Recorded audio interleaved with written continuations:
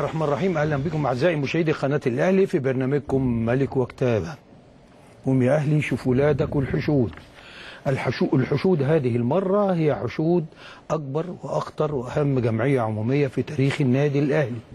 ونحن هنا لا نتحدث عن الانتخابات ولا عن أطرافها ولا عن نتائجها ولكن نرصد بعض الظواهر التي تجعل من الأهلي هو المعلم دائما. إبراهيم. أهلا بك يا باشمهندس واهلا بكم أعزائي المشاهدين. وهذه الأيام المشهودة من تاريخ الاهلي العريق. هي أيام بالفعل مشهودة أيام مشهود للاهلي فيها بكل هذا النقاء بكل هذا الانتماء بكل هذا الوعي المتدفق من هذه الحشود الحاضره من الجماهير ال- وعشاق وأعضاء النادي الأهلي. هي بالفعل جمعية تاريخية جمعية سجلت رقما قياسيا ناصعا وبارزا في تاريخ النادي الأهلي بل لعله في تاريخ كل الأندية المصرية. أن يحضر لاجتماع الجمعية العمومية للنادي الأهلي نحو 37 ألف عضو في تسع ساعات فقط فده رقم قياسي كبير جدا. بالإشارة إلى أنه رقم جمعية نادي الزمالك الشقيق قبل أيام كانت قد سجلت 42 ألف وكسور لكن كانت عقدت على يومين وامتدت 26 ساعة. 26 ساعة جابت 42 ألف الأهلي في تسع ساعات فقط جاب 37 ألف عضو. رغم كل هذا الزحام رغم كل هذه الحشود يا باشمهندس كان السلوك الأهلي رائعا. جمعية يعني يدخل بها الأهلي عصر آه، آه، التاريخ والتحدي والريادة كدأبه. حشود وزحمة وإصرار من الكبار والصغار على الحضور والتواصل. لم تكن المشكلة داخل النادي الأهلي والزحام فقط ولكنها أيضا كانت صعوبة الوصول أصلا إلى النادي الأهلي كخطوة أولى ثم إلى مقر اللجان الانتخابية كخطوة ثانية. الناس كانت بتنزل عند كوبري قصر النيل وعند آه، آه، المعرض وعند آه، فوق كوبري 6 أكتوبر. رجال وسيدات. يا أستاذ إبراهيم أنا كنت مخطط إن أنا مثلا أروح أقعد لي ساعتين ثلاثة أدلي بصوتي وأمشي. عندما أهم بال- بال- بالتحرك أجد آه، سيدة تتحامل على نفسها على عكازها ابنها يسندها فتلهمني. فقول هستنى شوية يعني هي أحسن مني أقعد لي ساعة ولا ساعتين أبص ألاقي راجل جاي على كرسي متحرك يقول لي أنا أنا طالع من المستشفى عشان أدي صوتي وأرجع. يلهمني وظلت هذه المظاهر تسلمني آه، آه، الواحدة تلو الأخرى لبعضها حتى انتهت العملية الانتخابية. وشعرت بطاقة لم تكن لدي ولم أكن أتصرها لدي وقعدت بعد الفرز وروحت ساعة الفجر من الفجر إلى الفجر دون أن أشعر بالتعب إلا تاني يوم ولما صوتي اتحبس من الإرهاق والبرد. لكن كل ده كان بيحسسني بالفخر لأن جمعية عمومية شاهدنا فيها كبار السن والناس اللي آه يعني لا ده ده في بص يا أستاذ إبراهيم حدثت بعض حالات الإغماءات وستات بأطفالها وأمهاتها وكنت بوسع لهم وأحاول أوجد لهم مخرج وأسلمهم لشباب عشان آه، يعني آه، كانت عملية اختناق تقريبا. كذا مرة يعني. ورغم هذا صمود إيه وإصرار إيه إنه لما يعني شعرت أن الأهلي له من يحميه وهي اعضاؤه وجمعيته العمومية.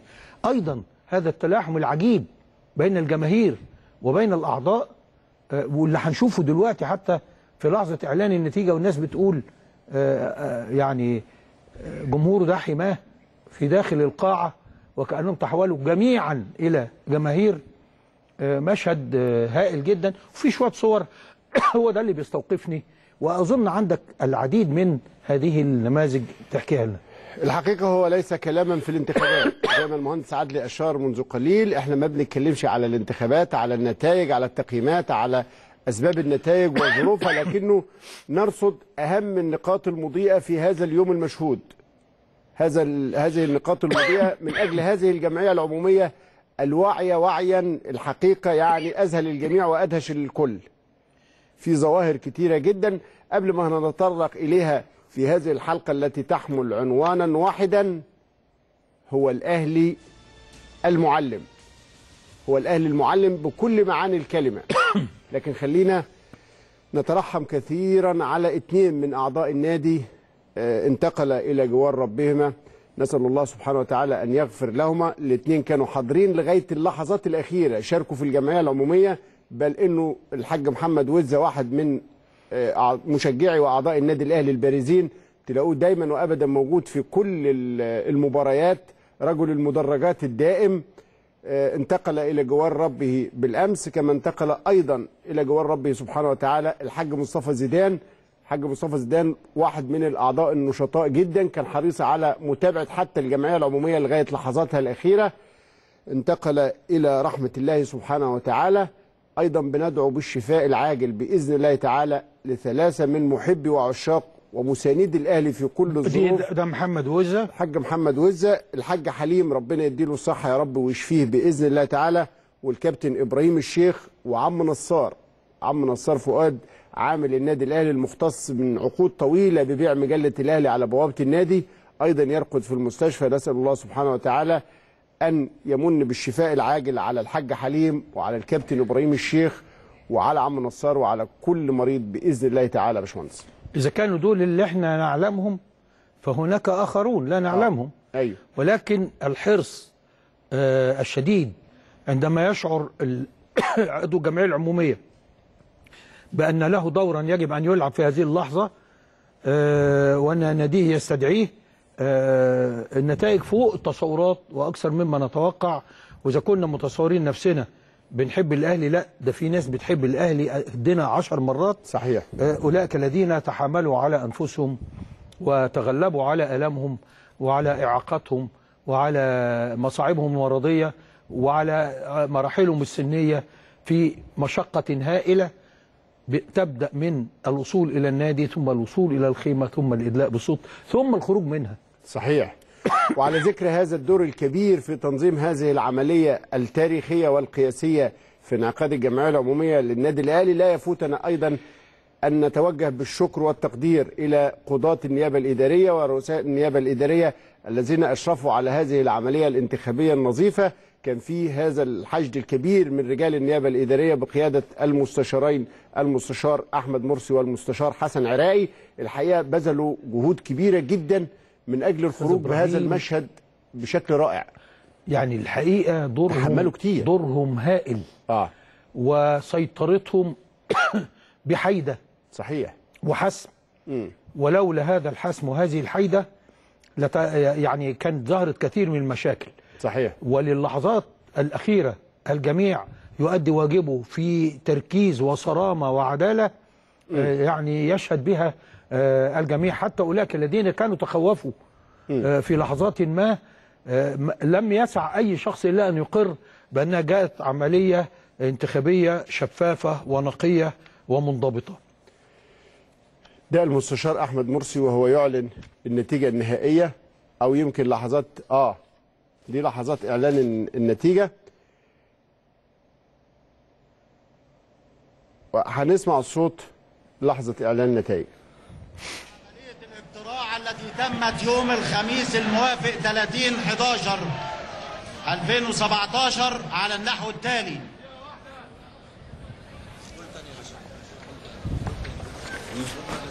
ويكون مجلس إدارة النادي الأهلي بعد انتهاء عملية الاقتراع والفرز على النحو التالي. الكابتن محمود إبراهيم إبراهيم الخطيب رئيسا.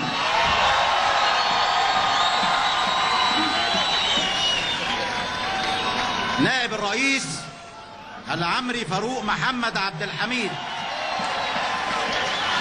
منصب أمين الصندوق خالد محمد علي الدرندلي. أعضاء فوق السن خالد عبد المحسن كامل مرتجي محمد محمد محمد عمر. محمد عمر محمد الضماطي رانيا عمرو مصطفى علواني إبراهيم كامل كامل السيد الكفراوي طارق حسن عبد الحميد حسن انديل جوهر نبيل جوهر محمد. أعضاء تحت السن محمد جمال عبد القادر الجرحي محمد زكريا عبيد سراج الدين. مهند مجدي محمد عبد العزيز. واللجنة القضائية المشرفة على الانتخابات.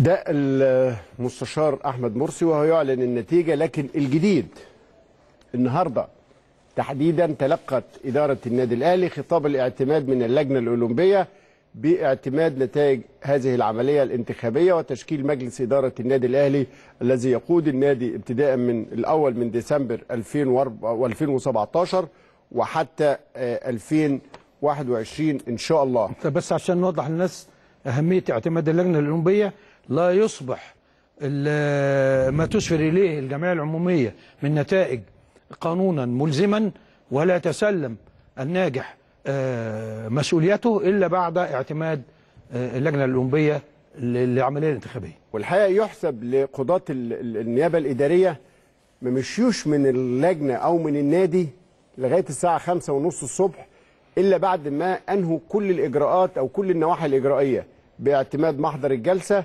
وبالحصول على توقيع المدير التنفيذي للنادي على كل الأوراق. عشان كده اتموا كل الإجراءات من الناحية القانونية فلما الخطاب راح للجنة الأولمبية ما أخدش أي وقت لأنه كان مستوفي كل الشروط والنواحي الإجرائية. ومن ثم ردت اللجنة الأولمبية اليوم بخطاب آه، إلى النادي الأهلي السيد الأستاذ محمود إبراهيم الخطيب رئيس مجلس إدارة النادي الأهلي للرياضة البدنية محافظة القاهرة. بالإشارة إلى كتاب سيادتكم الوارد للجنة الأولمبية المصرية بشأن أعمال الجمعية العمومية العادية للنادي الأهلي بمقر النادي 3 شارع صالح سليم بالجزيرة القاهرة والتي انعقدت بتاريخ الخميس الموافق 30 11 2017 والمتضمنة بند الانتخاب لمجلس إدارة جديد لدورة 2017 2021 برجاء الإحاطة أنه تم عرض كافة إجراءات الانتخابات ومحضر أعمال الجمعية العمومية للنادي المنعقدة بتاريخ 30 11 2017 على اللجنة المختصة وانتهى رأي اللجنة الأولمبية المصرية إلى أنه لا مانع من اعتماد فوز السادة التي أسماؤهم بالانتخاب بناء على قرار الجمعية العمومية ليكون تشكيل مجلس إدارة النادي الأهلي للرياضة البدنية على النحو التالي. واحد السيد محمود إبراهيم إبراهيم الخطيب رئيسا لمجلس الإدارة السيد العمري فاروق محمد عبد الحميد نائبا لرئيس المجلس السيد خالد محمد علي الدرندلي أمينا للصندوق السيد خالد عبد المحسن كامل مرتجي عضو فوق السن السيد محمد محمد محمد الضماطي عضو فوق السن. السيدة رانيا عمرو مصطفى علواني عضو فوق السن. السيد إبراهيم كامل كامل السيد الكفراوي عضو فوق السن. السيد طارق حسن عبد الحميد حسن أنديل عضو فوق السن. السيد جوهر نبيل جوهر محمد عضو فوق السن. والسيد محمد جمال عبد القادر عبد البصير الجرحي عضو تحت السن. والسيد محمد زكريا سراج الدين عضو تحت السن.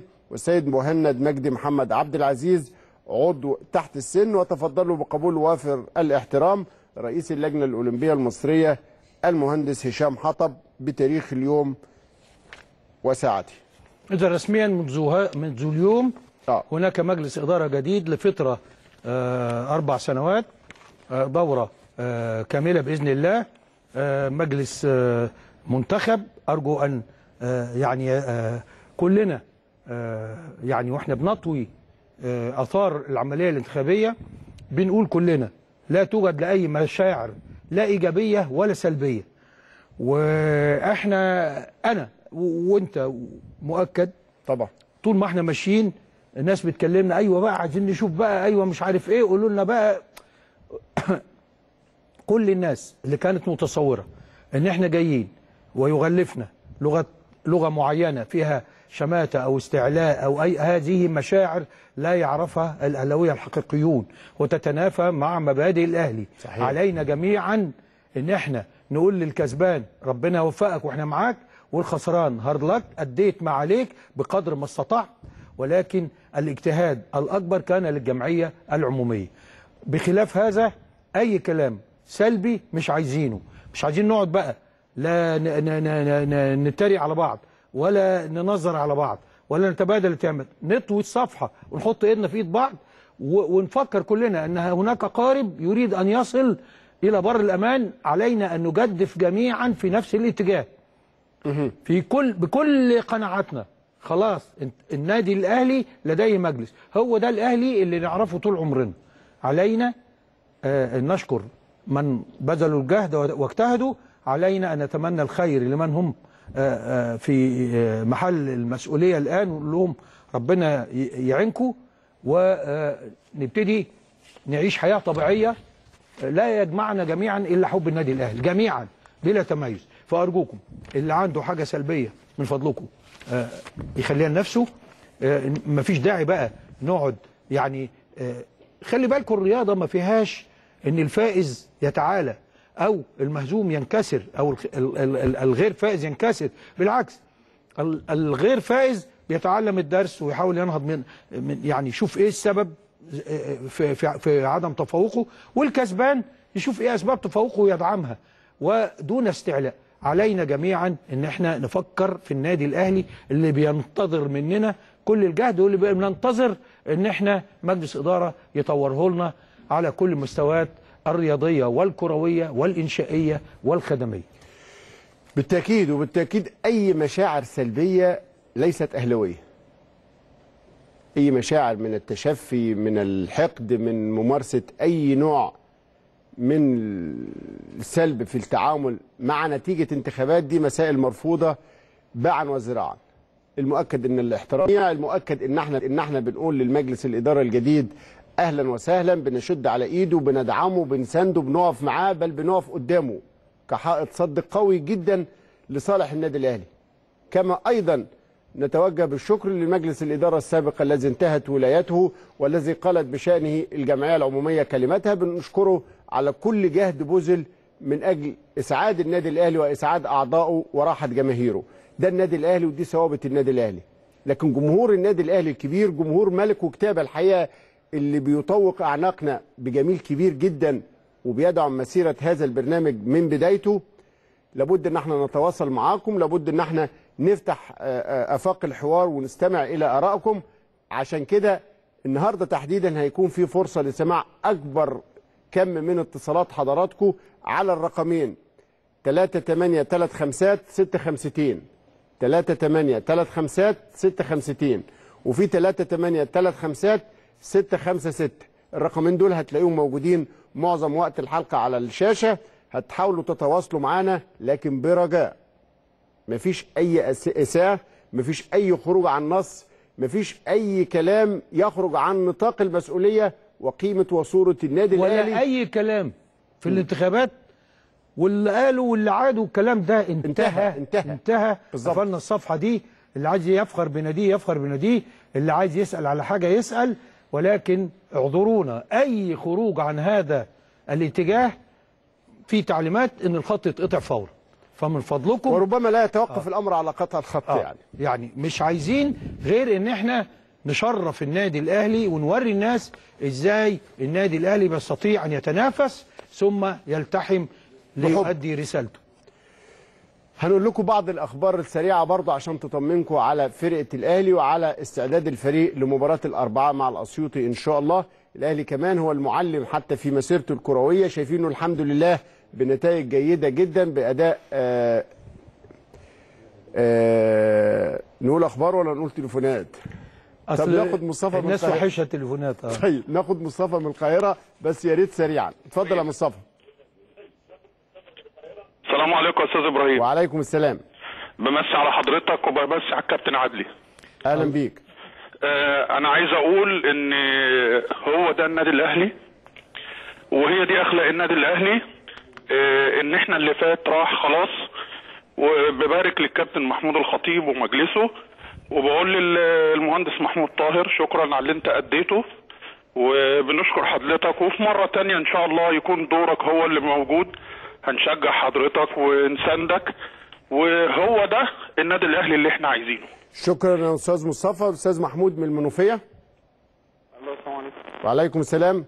يا ريت نختصر السلام وصل مبدئيا بس نختصر عشان ناخد أكبر وقت من من حضراتكم. أنا بس بهني الكابتن محمود الخطيب بيبو بالفوز. وب- وبشكر الكابتن محمود طاهر. على مجهوده. وبجد بجد إن الاهلي هيفضل فوق الجميع شكرا. شكرا يا أستاذ محمود. ياسر من الجيزة أستاذ ياسر. أستاذ ياسر. السلام عليكم. السلام ورحمة الله. اتفضل يا أستاذ ياسر. آه كابتن عدلي والله أنا بنحبكم لله لله كده. ربنا الحمد لله. ربنا يديم المعروف. أول حاجة أنا بقدم الشكر للمهندس محمود طاهر. وتاني حاجة طبعا إحنا بنقول للمهندس الكابتن محمود الخطيب ربنا يوفقك وإدارة النادي. وبس كده حبيت أشكر بس شكرا جميعا شكرا يا ياسر. معانا محمد من الشرقية. ألو؟ أيوه. إزيك يا أستاذ إبراهيم؟ إزيك يا باشمهندس؟ أهلا بيك. اتفضل. أهلا بيك يا محمد اتفضل. طبعا إحنا لازم نقول مبروك للاسطوره الكابتن محمود الخطيب. تمام. مهمة كبيرة ومسؤولية صعبة. والجمعيه العموميه حملته مهمه هو قدها إن شاء الله. وبنقول محمود طاهر شكرا. وعايز أحيي الجمعيه العموميه إنها عبرت عن جمهور النادي الأهلي. مفيش فرق بين الأهلي جماهير وجمعيته العمومية جمهور الأهلي واحد والأهلي فوق الجميع. شكرا يا محمد. شكرا ليك. ثابت؟ منين يا ثابت؟ يلا يا أستاذ ثابت اتفضل أنا خالد يا فندم. خيري؟ خالد. خالد اتفضل اتفضل يا خالد. حضرتك عامل إيه؟ اتفضل أنا بحب أبارك لنفسي وابارك لحضرتك على الكابتن محمود الخطيب ودايما الأهلي فوق الجميع شكرا. شكرا يا خالد. محمد من اسكندرية. محمد. أيوه السلام عليكم. وعليكم السلام. الله يخليك. اتفضل أه والله طبعا أنا يعني بهني مجلس الإدارة الجديد بقيادة أسطورتنا كابتن محمود الخطيب وبمسي على كابتن عادل القيا وحضرتك يا أستاذ إبراهيم. شكرا. وأستاذ عادلي أنا مش عارف أنت لا تتخيل أنا بعشقك إزاي. يا سيدي الله يخليك. بالنسبة لي مثل أعلى غير طبيعي. أرجو أن نكون على قدر هذا الحب ويعني وهذا التقدير. آه كنت بعد إذن حضرتك كنت عايز آخد رأي حضرتك في حاجة. اتفضل. آه آه طبعا ال- الفترة اللي فاتت شفنا قد إيه نتيجة التطور الاجتماعي إن السوشيال ميديا مؤثرة جدا جدا جدا في الأحداث دلوقتي خصوصا الرياضية يعني. هلا وطبعا في الانتخابات في الفترة الأخيرة شفنا قد إيه إن هي شكلت تقريبا يعني يعني بس خش في الاقتراع عشان في تليفونات عمال يقول لي المخرج آه. ها؟ يعني أنا بس كل الفكرة هل في إمكانية برنامج حضرتك ملك وكتابات بنا مبادرة يخاطب بيها الوعي الجمعي الأهلاوي إن هو إزاي يتعامل في الفترة دي؟ مؤكد مؤكد. بشكل ما يشكلش ضغط سلبي على النادي؟ بالظبط كده وده أنت لمست نقطة إحنا مهتمين بيها جدا لأنه الحقيقة الحقيقة إن عند ساعة الجد أديك شايف كل الرسائل الإيجابية والناس بتستجيب. أرجو إن نقوم بدورنا. في هذا الاتجاه. محمد من كفر الشيخ؟ أيوه. اتفضل ألو؟ أيوه يا أستاذ محمد اتفضل. كابتن عدلي. اتفضل يا حبيبي. مساء الخير يا فندم. مساء النور يا حبيبي. إحنا من كفر الشيخ يا فندم. إحنا بنحيي كابتن بيبو حبيبنا حبيب الملايين ونبارك له على إنه هذا. ها اتفضل آه، نفسنا يا فندم قناة الأهلي تنزل آه، المدن وتنزل المحافظات وتنزل تغطي الناس اللي بتحب الأهلي والناس اللي بتحب مباريات الأهلي. والله اقتراح كويس الأهلي في المحافظات ممكن ممكن نشوفها تتعمل إزاي. ممكن بعض الأحيان كده في أحداث معينة الكاميرا تنزل في المحافظات ترصد. اتفضل. مين؟ شكرا يا محمد. هنقول بعض الأخبار ونرجع لحضراتكم بس الأول تاني عايز أرصد حاجة يا تستنوش إبراهيم. على الخط كتير. بص يا أستاذ إبراهيم آه. ملاحظ النغمة؟ آه. بمجرد ما قلنا التوجيه الناس بتستجيب. في انضباط وماشيين على. نفس النغمة. صحيح. وهذا يوضح تأثير الإعلام. عندما يريد الاعلام الإعلام أن يأخذ الناس في الاتجاه الإيجابي يستطيع. صحيح. الناس مستجيبة. صحيح. كله ماشي بمنتهى التهذيب ومنتهى التقدير آه، على مسطره واحدة طيب.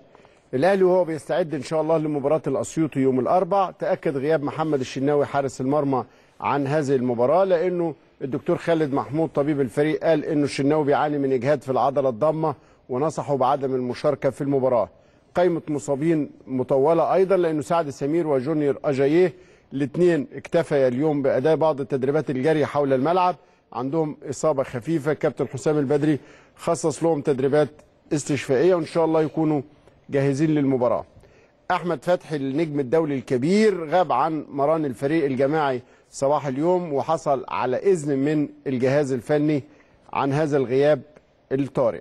بينما الكابتن حسام عاشور وصبر رحيل وأيمن أشرف الثلاثي غابوا أيضا عن المران الجماعي بسبب زحمة المواصلات وصعوبة الوصول إلى ال- النادي في موعد المران الصباحي.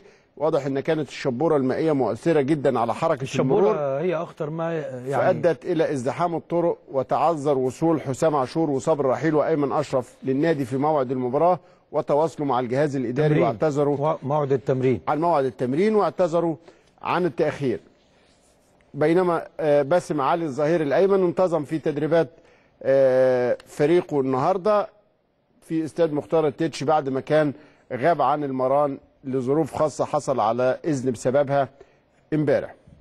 مروان محسن المهاجم الدولي العائد من إصابة طويلة أبعدته عن الملاعب بعد إجراء آه، جراحة في الرباط الصليبي غاب عن مران الفريق النهاردة بسبب أيضا التدريبات التأهيلية اللي أداها في الجيم بناء على البرنامج الخاص به كابتن سيد عبد الحفيظ مدير الكرة بيعلن تغريم صالح جمعة نجم الفريق 100 ألف جنيه وفقا للائحة وبيقول الكابتن سيد عبد الحفيظ التدريب الخاص باللعيبة المستبعدين من المباريات هو تمرين جاد ومهم وأي لاعب هيغيب عن مران المستبعدين بدون إذن هيكون غرامته 100 ألف جنيه حسب اللائحة. آه، ده يمكن حالة الفريق قبل مباراة الأسيوطي اللي بيتطلع الأهلي فيها بإذن الله تعالى للفوز يوم الأربع ومواصلة الزحف نحو صدارة المسابقة والدفاع عن اللقب بإذن الله. آه، صحيفة ديلي ستار البريطانية بتؤكد على إنه في تحركات جادة جدا من ريال مدريد نحو ليفربول لشراء عقد محمد صلاح وبتقول الصحيفة البريطانية ديلي ستار في تقرير لها إن ريال مدريد لا يمانع في تقديم خدمات لاعبه الشاب لوكاس فاسكيز إلى ليفربول بجانب دفع 40 مليون يورو للحصول على خدمات الفرعون محمد صلاح في الانتقالات الشتوية الشهر القادم. بسم الله ما شاء الله. ولكل مجتهد نصيب. وبترى الصحيفة البريطانية إنه السرعة الهائلة لمحمد صلاح ولفت الأنظار إليه بقوة في الدوري الإنجليزي بترجح كتير كفته لدى مسؤول الريال مدريد لضعف الأداء الهجومي للثلاثي جاريث بيل وكريم بنزيما وكريستيانو رونالدو فعندهم رغبة في التعاقد مع صلاح بسرعته الهائلة اللي مكنته من تصدر قائمة هداف الدوري الإنجليزي في الوقت الحالي ب 12 هدف سجل بالإضافة إلى كده 17 هدف في مختلف المسابقات وتوج صلاح بجائزة أفضل لاعب في شهر نوفمبر الأخير في الدوري الإنجليزي. أحسن لاعب في الدوري الإنجليزي كله في شهر نوفمبر محمد صلاح هذا النجم المصري الرائع يا باشمهندس. حاجة حلوة ودي ثمرة الالتزام. لما أيوة. أيوة. بنقول للناس لو عندك م- موهبة وتعرف كيف تديرها بشكل فيه التزام وطموح هذه النتيجة. مم. ليس أبرع اللاعبين ولكنه قطعا أكثر اللاعب- اللاعبين ادراكا لقيمة موهبته. أيوه. فاستطاع أن يديرها بالشكل اللي فيها نمو مضطرد أيوه. ويستفيد من آه، آه، آه، المهارات الخاصة آه، في السرعة والقوة والرؤية على المرمى. ما فيش نواحي استعراضية ولا جمالية في لعبه لكن في فعالية شديدة جدا وهو ده نوع لاعب الكرة الحديث الذي يتهافت عليه الأندية. كل التوفيق لمحمد صلاح وكل التوفيق لمنتخبنا الوطني في كأس العالم بإذن الله. زي النهاردة لكن في الأول من ديسمبر سنة 61 الأهلي فاز على الزمالك 3-0 بأهداف صالح سليم وطه إسماعيل ومحمود الجوهري الكباتن الكبار.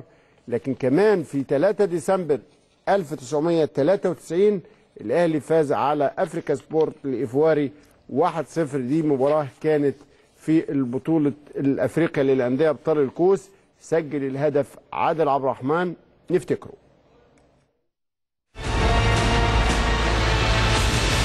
وماشي وماشي. وبالعرض على الجرين وتطلع وتاني اسامه اسامه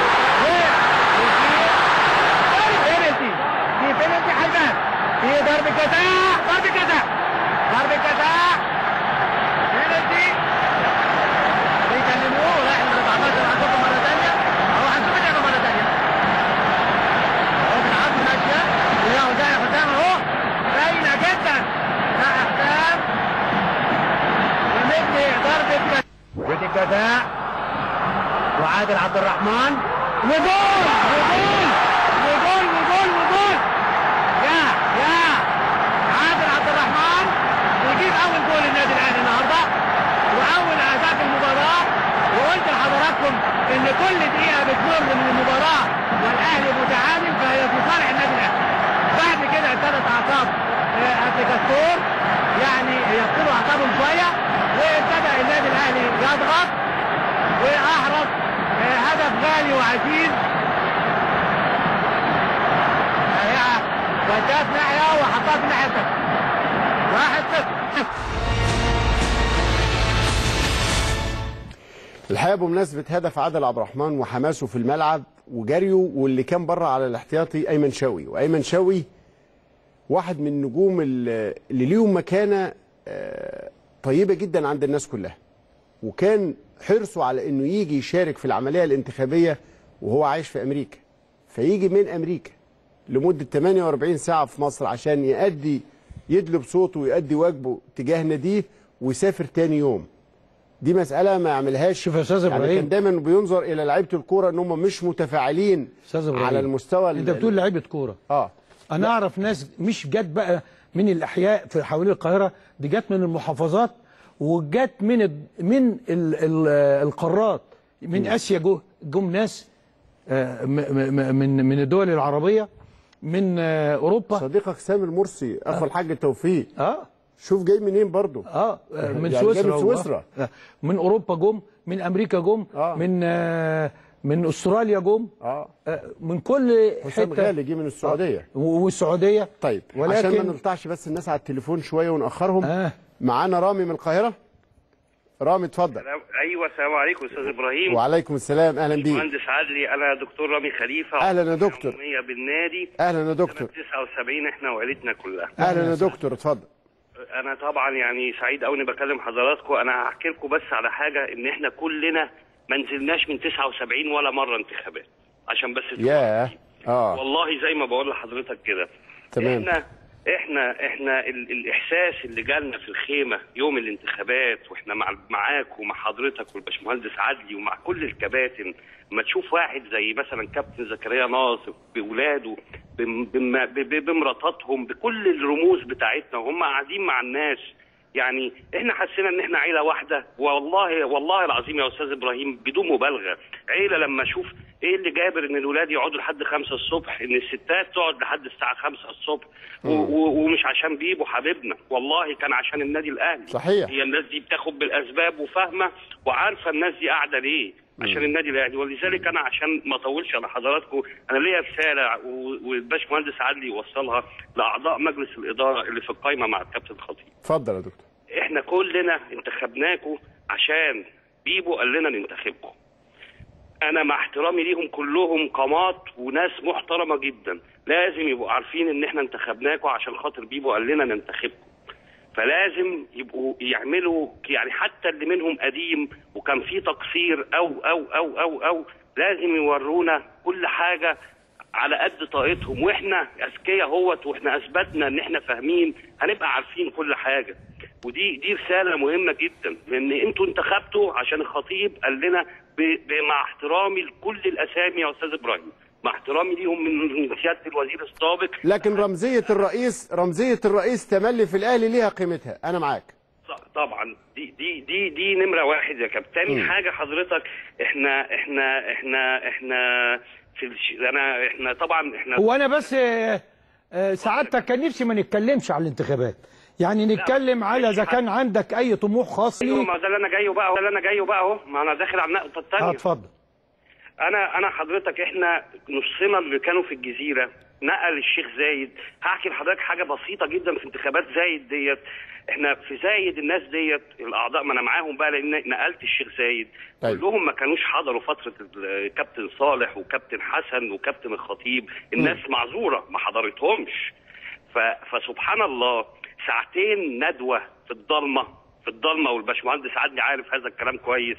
ساعتين ندوة في الضلمة. انت بتتكلم انت بتتكلم انتخابات اعمل معروف. لا ما أنا هقول لحضرتك بس أنا عايز بس اللي جاية الشيخ زايد الشيخ زايد بس يبقى فيه اهتمام من الرموز وحضراتكم في الفترة اللي جاية عشان الناس كل كل كل فروع ال- كل النادي الأهلي بفروعه وخصوصا الشيخ زايد والتجمع بإذن الله القادم. عشان مدينة نصر حضروا حضروكوا زايد ما حضروكوش هتلاقي هتلاقي هتلاقي طفرة. كبيرة إن شاء الله. وصلت الرسالة. شكرا يا دكتور وعايزين رامي. التواصل. لكن مين اللي معانا؟ مصطفى من يا اسكندرية. أستاذ مصطفى. تعالوا نبعد عن الانتخابات والندوات والكلام ده. اتفضل يا أستاذ مصطفى. ألو. اتفضل. يا فندم إزيك يا أستاذ إبراهيم؟ أهلا بيك يا أستاذ مصطفى اتفضل. بمسي على الباشمهندس عادل القيعي مثل الاعلى الصراحة. الله يخلي حضرتك متشكرين جدا. يا ريت يا كابتن بس بتوصلوا لمجلس الإدارة اللي يبقى فيه جهاز كورة آه، يجيب لنا لعيبة كده كويسة عشان نحصد البطولات زي الأول إن شاء الله. إن شاء الله. إن شاء الله عندنا جهاز. محترم وفرقة محترمة. اتفضل. علي من بني سويف. يا أستاذ علي. السلام عليكم يا أستاذ إبراهيم. وعليكم السلام. إيه، تحيات طبعا للكابتن عبد الكاوي ولحضرتك شكرا. بس أنا بتصل طبعا اتعاملت مع حضرتك في الانتخابات في النادي حضرتك من الشخصيات المحترمة والكابتن عبد ربنا يخليك ربنا يخليك. بس أنا بس أنا عاوز بس ثلاث دقايق من حضرتك. ثلاث دقايق؟ أنت تكون وصلت بني سويف. مديونين مديونين للجمعية العمومية بالاعتذار كلنا. إن إحنا فرقنا بينهم وبين النادي وبين جماهير النادي الأهلي انه إنه جماهير شماسي إن جمعيه عمومية شماسي وكراسي لا الجمعيه العمومية أثبتت إن هي جزء يتجزأ من جماهير النادي الأهلي الحقيقيه كلام سليم. طبعا. عرفنا طبعا هنا قيمه قيمة النادي الأهلي هنا. طب نشكر طبعا الأستاذ عادل القيعي الأستاذ إبراهيم المنيسي الأستاذ محمد ابن حضرتك طبعا صوته راح في الانتخابات. مدام دنيا الأستاذ خالد وبنحت... وبنت... وبنتأسف طبعا للأستاذ عمرو فاروق هنا قيمه الأهلي بانت يا أستاذ عدلي وأستاذ إبراهيم إن وزير سابق كان مسؤول عن المنظومة بأكملها يتنازل ما تنازلش عشان كابتن الخطيب لا هو تنازل عشان خاطر النادي الأهلي يبقى نائب. وطبعا بن... بنعتذر للأستاذ خالد مرتجي وطبعا بس أنا بس ليا تعقيب بسيط يا أستاذ عدلي. هي الناس بيجي لها وشوش إزاي تطلع لا لا لا لا لا لا لا لا لا من فضلك.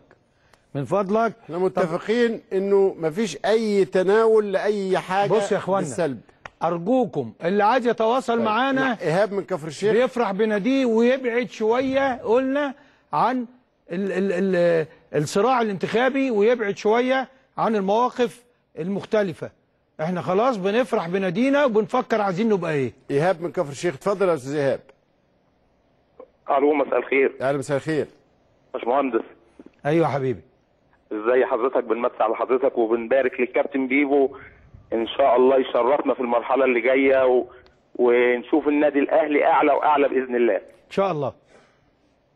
وإحنا بنتصل بس عشان نشكر حضرتك ونبارك لمجلس الإدارة الجديد. شاكرين يا حبيبي. كتر. معانا أحمد من اسكندرية. أستاذ أحمد.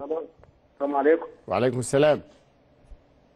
أستاذ عادلي معايا؟ أيوه يا فندم. الأستاذ إبراهيم وأنا. ازيك يا أستاذ عادلي أهلا بيك يا حبيبي. مع حضرتك أحمد سيد من اسكندرية عادلي أهلا يا أستاذ أحمد اتفضل. أنا بشكر حضرتك جدا جدا على المجهود اللي حضرتك عملته. طبعا ده يعني ده دي أبناء النادي الأهلي والكابتن الخطيب مش كابتن لعيب كرة زي ما بيقولوا. كابتن الخطيب كابتن إدارة وكابتن وكابتن مبادئ ومثل ومسا وعلى ما ما هو إحنا يعني بإذن الله آه، يعني ه- انت عارف كابتن الخطيب والله مش عايزنا نقعد نقول كده. تصور موصيني قال لي بلاش الكلام الكتير علينا وعلى شخوصنا خلينا نتكلم عن النادي الأهلي. شكرا لحضراتكم. هنطلع لفاصل وبعد منه نرجع إزاي هو الأهلي المعلم.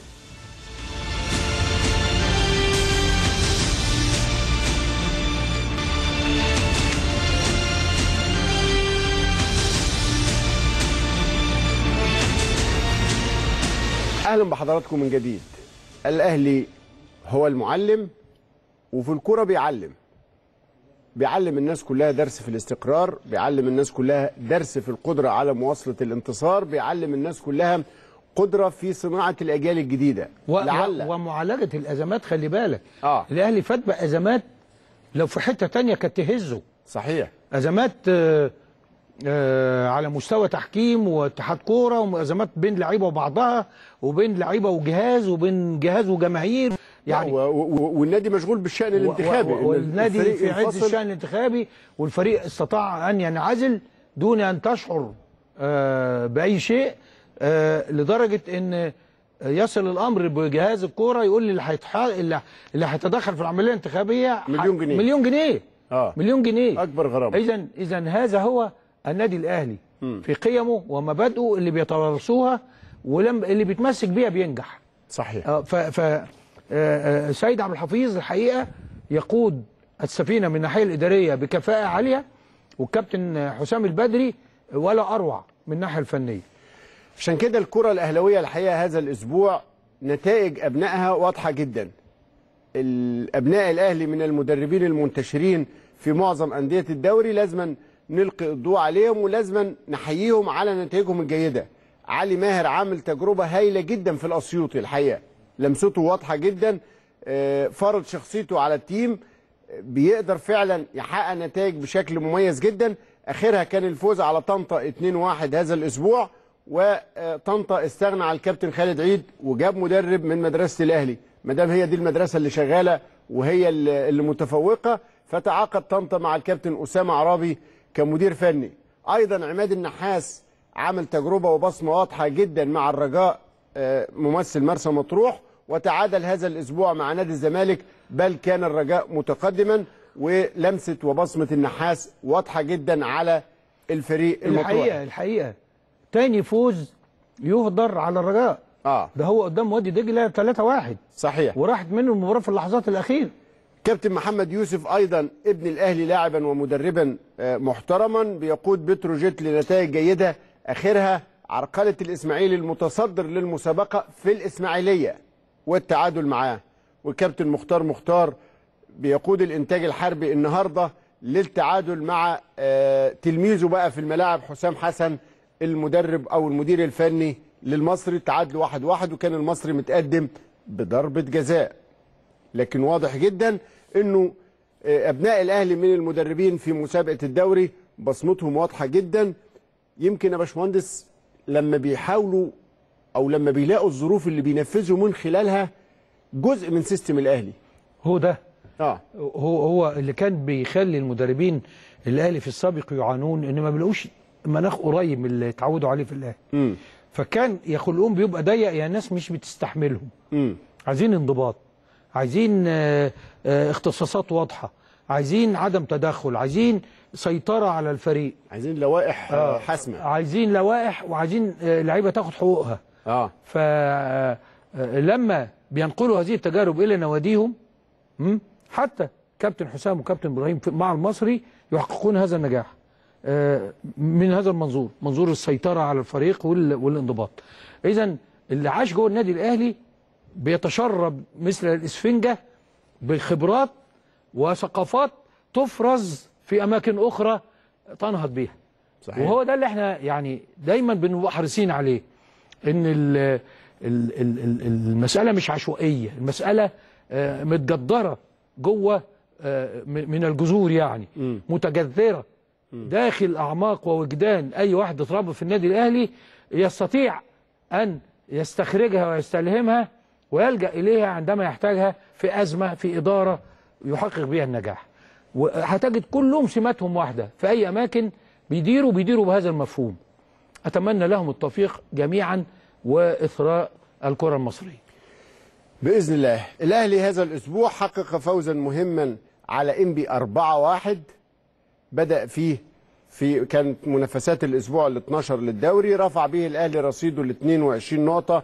بيحتل المركز الثالث خلف الإسماعيلي اللي بيتصدر ب 27 نقطة المصري آه 23 نقطة. ما زال للأهلي أربع مباريات مؤجلة يبدأها في بالأسيوط إن شاء الله يوم الأربع من المباراة في الأسبوع. أنا عايز بس أشوف آه الجون الأولاني. مم. لو يقدر وإحنا بنتكلم كده يجيبه نعلق عليه لأني آه، هوريك حاجة يعني آه. حاجتين هعلق على حاجتين آه، في الجون ده. آه، يعني هتجد إن سعد سمير بص اترفعت على القريبة. آه.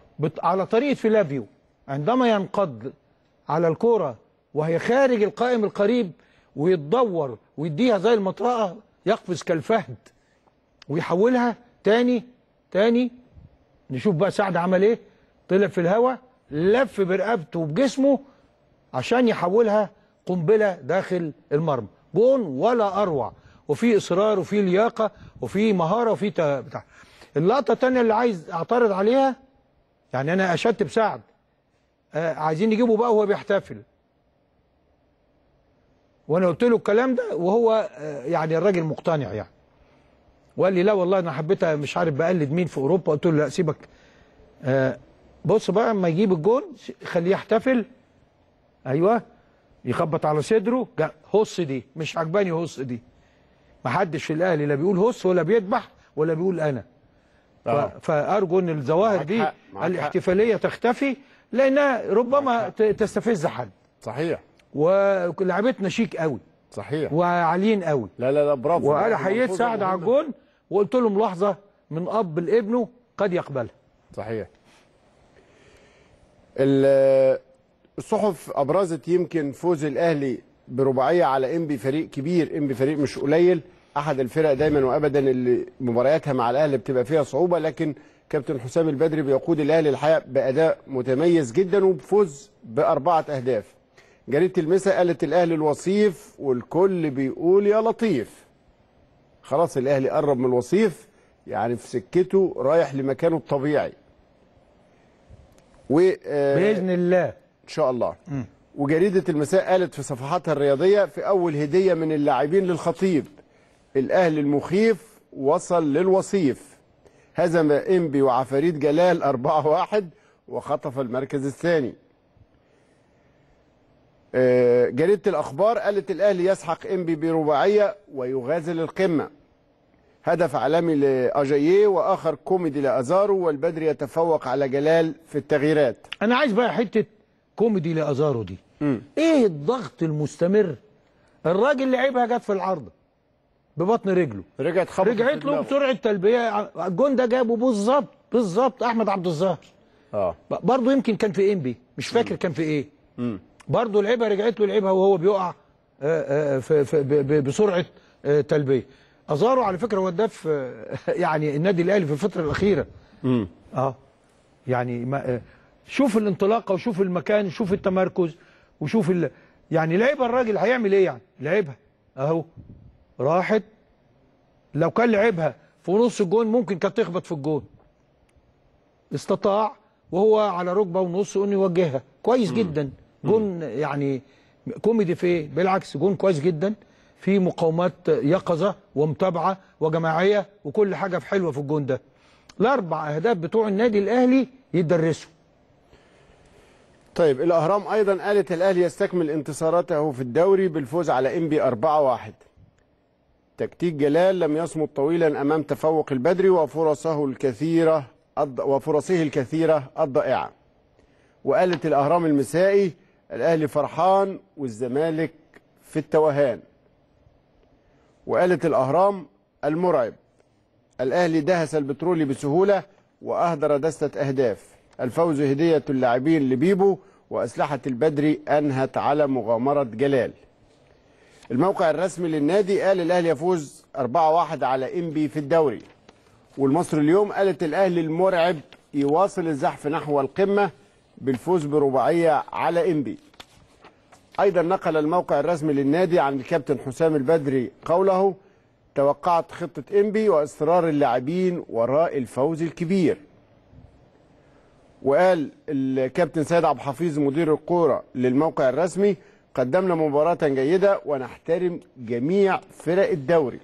الاحترام أساس التفوق يا جماعة.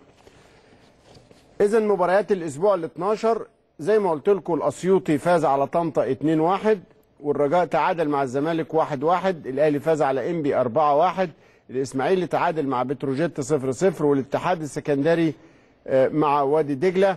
سموحة فاز على المقاولين 3-0 والنصر فاز على الداخلية 0-0 والإنتاج والمصري تعادلا اليوم 1-1 ومستمرة الآن مباراة مصر المقاصة مع طلائع الجيش. المقاصة فاز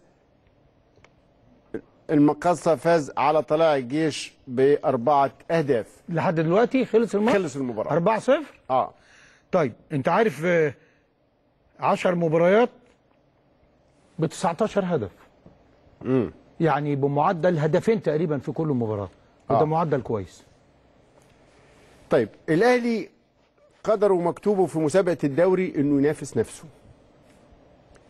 ما في رقم قياسي في الدوري إلا هتلاقي الرقم القياسي باسم الأهلي والرقم اللي قبل منه كان باسم الأهلي لكن الرقم اللي قبل منهم اللي اتكسر كان برضه باسم الأهلي.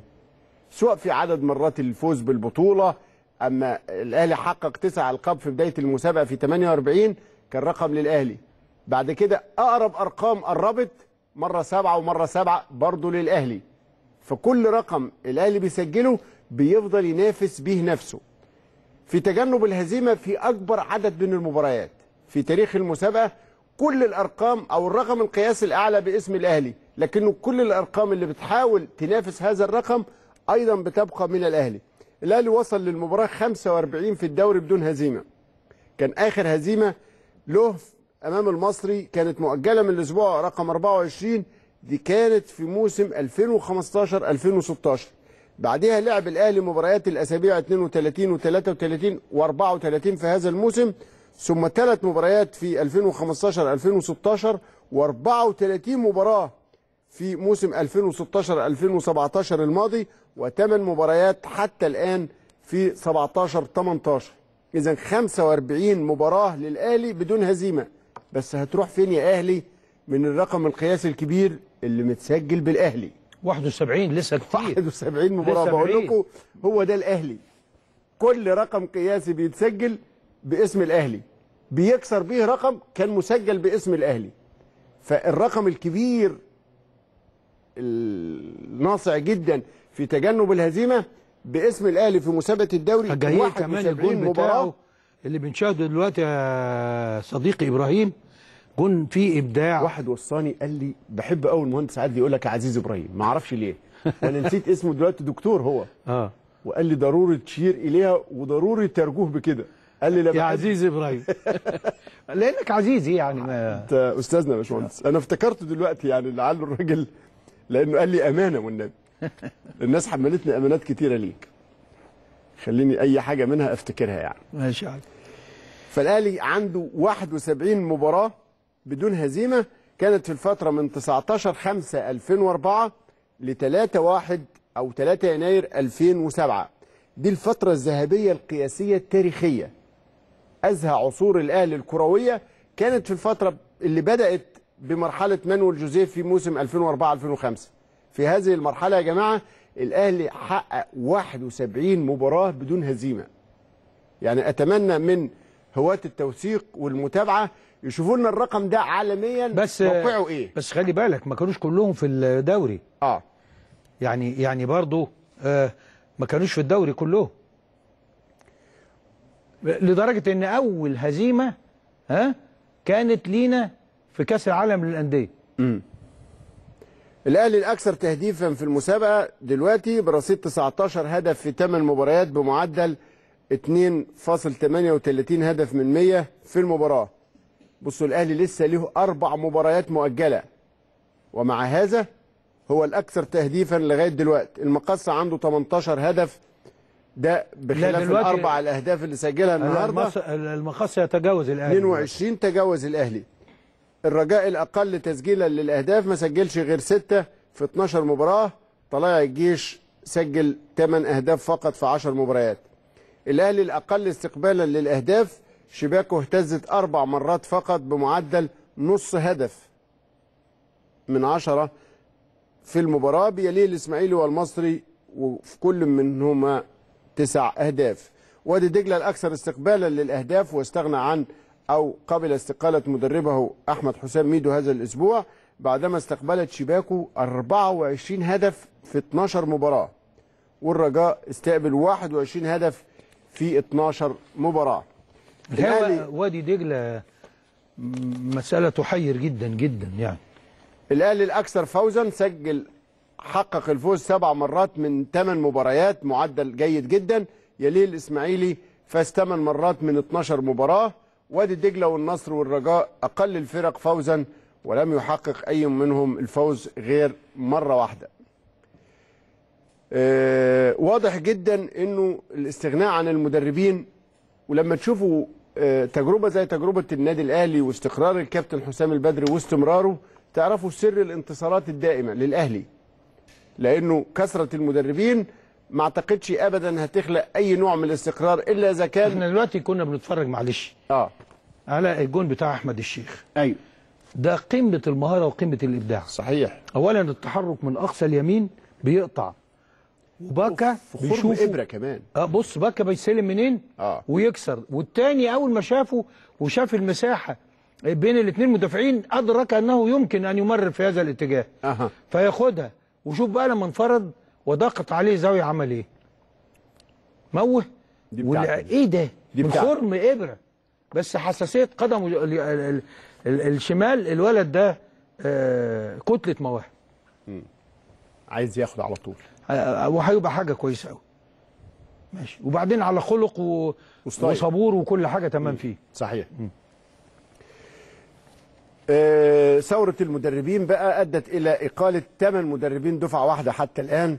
في الموسم بدأ الرجاء الموسم تحت قيادة الكابتن خالد القماش. رحل القماش يوم 28 سبتمبر. تولى المسؤولية بدلا منه عماد النحاس وبصمته واضحة على الفريق. إنبي بدأ الموسم بطارق العشري ورحل العشري عن إنبي يوم 15 10 ثم تولى المسؤولية بدأ إيهاب جلال. الاتحاد السكندري بدأ الموسم بهاني رمزي. رحل هاني رمزي عن تدريب الاتحاد يوم 21 10 وتولى المسؤولية المدرب الفرنسي الحالي جان ميشيل كافالي. جان ميشيل كافالي ده عمل حاجة آه. آه، امبارح ها بيلعب ب 10 أفراد قدام وادي دجله 10 أفراد. الشوط الأولاني كسبان 1-0 ينهي المباراة كام؟ 4-0 يجيب ثلاث أهداف أحلى من بعض كلهم وهو بيلعب ب 10 أفراد. مم. طيب المصري المقصة بدأ بمؤمن سليمان ورحل مؤمن عن تدريب المقصة يوم 23 10 شهر 10 كان شهر وحش على المدربين. وتولى المسؤولية بدلا منه عماد سليمان. طلائع الجيش بدأ بأحمد سامي اللي مشي في 29 نوفمبر وتولى الكابتن حلمي طولان. سموحة بدأ الموسم بالمدرب التشيكي فرانز شتراكا ورحل اشتراكا عن تدريب سموحة يوم 1 ديسمبر. وتولى المسؤولية بدلا منه حاليا الكابتن ميمي عبد الرازق. طنطا بدأ الموسم بخالد عيد وكانت نتائجه جيدة وأداؤه متميز لكنه رحل عن تدريب طنطا في 2 ديسمبر وتولى المسؤولية بدلا منه الكابتن أسامة عرابي. بدأ وادي دجلة الموسم بأحمد حسام ميدو ثم أخيرا بعد هزيمته برباعية رحل ميدو عن دجلة وتولى المسؤولية حاليا أحمد حمودة. مؤكد هنتوقف مع بعض التحليلات لكن ضغط حضراتكم على التليفونات ما بنحبش نغرمكم كتير ونسيبكم على الخطوط فترة طويلة. معانا كرم من الجيزة. أهلا بيك يا أستاذ كرم. كرم؟ أستاذ كرم. أستاذ طيب. غريب من الإسكندرية. أنا عايز ال- اللي يتكلم يقول اسمه باشمهندس حبيب. حبيب. يعني م- يعني مش حبيب أحمد حبيب محمد حبيب حبيب محمود يعني عايز الاسم كده نفهمه على بعضه. مين معانا؟ باشمهندس إبراهيم. أهلا بيك أهلا بيك يا أستاذ حبيب. يا فندم مع حضرتك حبيب أيوب من اسكندرية. أيوه. حبيب أيوب من اسكندرية. أهلا وسهلا. آه، اولا بارك للنادي الأهلي بفوز كابتن بيبو. الحمد لله. وبس ليا يعني ليا طلب وليا سؤال عند باشمهندس آه، برا- عادل الكاع اتفضل. آه، الطلب بس يعني نفسي نشوف استاد الأهلي إن شاء الله. تمام. والسؤال بس إحنا سامعين إشاعات موضوع الكابتن حسام البدر إن في آه، يعني مشاكل مع كابتن بيبو ان هو يمشي ويسيب النادي الأهلي. فهل الكلام ده صح ولا لأ؟ انت لسه بتقول إشاعات يا أستاذ حبيب. طب عموما لا. لا بس بس كويس كويس آه. ك- آه، بس الأول نجاوب على ده بالعاطف. آه. آه، بالنسبة للسد بإذن الله ربنا آه، آه، الناس واخداها جد وربنا يسهل آه، ونبتدي فيه خلال آه، هذه الفترة. ولكن مسألة إن كابتن حسام يمشي أعتقد إن الكابتن آه، آه، الخطيب خلال آه، الفترة اللي كان بيقدم فيها برامجه قال لن نمس أي إنسان ناجح وبيجتهد وماشي بما يرضي الله. وأعتقد إن كل ال- ال- المعايير دي تنطبق على كابتن حسام. فمش عايزين دلوقتي ما يؤثر على آه، آه، آه، استقرار النادي والوضع العام. وعلى فكرة يا جماعة من فضلكم أنا ما عنديش توكيل عن المجلس. يعني بلاش آه، عايزينك تقول للكابتن أو عايزين نعرف كذا أو أنا بالنسبة لي كرجل إعلام أنا بنقل اللي بيجي لي لكن لست آه، مفوضا أن أتحدث آه، آه، عن المجلس. هناك آه، يعني من آه، مؤكد إن المسألة من يعني أحق تشهد بالتصريح مني. تشهد تنظيم الفترة اللي جاية. أستاذ عاطف. اتفضل يا أستاذ عاطف. يا لا أستاذ لحد ما عاطف يصلح التليفون. في حد تاني؟ أستاذ أحمد من البحيرة أو شكري من البحيرة. أستاذ شكري. أحمد شكري اتفضل. مساء الخير مساء الخير يا باشمهندس. اتفضل. مساء الخير يا باشمهندس. اتفضل يا حبيبي. معاك الأستاذ إبراهيم وأنا. إزيك يا أستاذ إبراهيم؟ أهلا بيك يا أستاذ أحمد اتفضل. أحب في الأول أبارك للكابتن محمود الخطيب. تمام. على على النجاح في الانتخابات. وبن- وبنشكر ال- ال- الباشمهندس محمود طاهر على الفترة اللي قضاها. وبتمنى من الكابتن عادل القيعي إن هو يقول نصيحة لصالح جمعة. حاضر. قلناها والله برافو- وهنكررها. برافو يا حاضر. شكري. ماشي. يا ريت بقى يعني التهاني وصلت. ادخلوا في رأيكم في الكورة بقى عشان نحرج المهندس عادل يطل- نطلع منه حاجة كده. وأنا عندي حاجة يا ابني. طلعنا أحمد شكري معانا مين؟ أحمد شبل من الشرقية. أستاذ أحمد. يا فندم تحياتي للباشمهندس عدلي والاستاذ إبراهيم المنيسي. اتفضل. أهلا. اتفضل يا أستاذ أحمد. وبن تحياتي للباشمهندس عدلي والاستاذ إبراهيم المنيسي. وبنبارك لحبيب الملايين كابتن بيبو. وبنشكر المهندس محمود طاهر. والتنافس الشريف اللي كان بينهم كان في مصلحة الأهلي والحمد لله إن أولاد الأهلي كلهم بيخافوا على هذا الكيان العظيم وعايز تفسير من كابتن عادل القيعي أيوه على كلمة إن أنا لابس حذاء ناسف لابس حزام ناس ده هو أنا اللي دبسته في أنت التعبير اللي. لا دي كانت دعابة يعني كانت دعابة. على شكرا يا اعتبار إن. إحنا معانا كنا في. فتره يعني آه نادر من أسيوط. طبعا لازم من أسيوط. اتفضل يا أستاذ نادر. ألو مساء الخير. أهلا بيك. نادر عياد من أسيوط. اتفضل. أيوة. بلدياتك يا أستاذ إبراهيم؟ آه، ما أنا عشان كده قلت أسيوط يبقى لازم تدخل على طول. اتفضل. اتفضل. أيوه طبعا. أنا أنا بفتخر ودايما بقول إن أنا بلديات الأستاذ إبراهيم المنيسي يعني. الله يخليك. اتفضل يا أستاذ نادر. اتفضل. يا بختك يا عم. يا بخت. بمس على بمس على الباشمهندس آه، عدلي حبيبنا ورمز الأهلي الكبير. أهلا بيك يا حبيبي. عايز عايز عايز أقول لكم إن أنا محتفظ بكل آه، باشمهندس إبراهيم. أنا من ساعة آه، بشجع الأهلي ومحتفظ بكل أعداد مجلة الأهلي الأسبوعية والخاصة والشهرية. جالك العدد الشهري بتاع الانتخابات ولا لا؟ أنا ما فيش حاجة تخص الأهلي تعديني. أنا تمام. مسميني أنا أنا من مركز البداري محافظة أسيوط تمام. مسميني كبير الأهلاوية في البلد بتاعتي.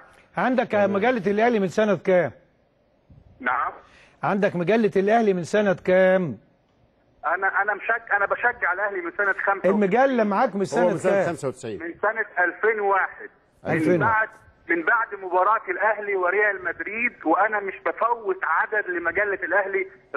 الشهرية أو الأسبوعية أو الأعداد الخاصة مع بطولات الأهلي الكتير. تمام يا أستاذ نادر عايز عايز بس أهني الكابتن آه، محمود الخطيب.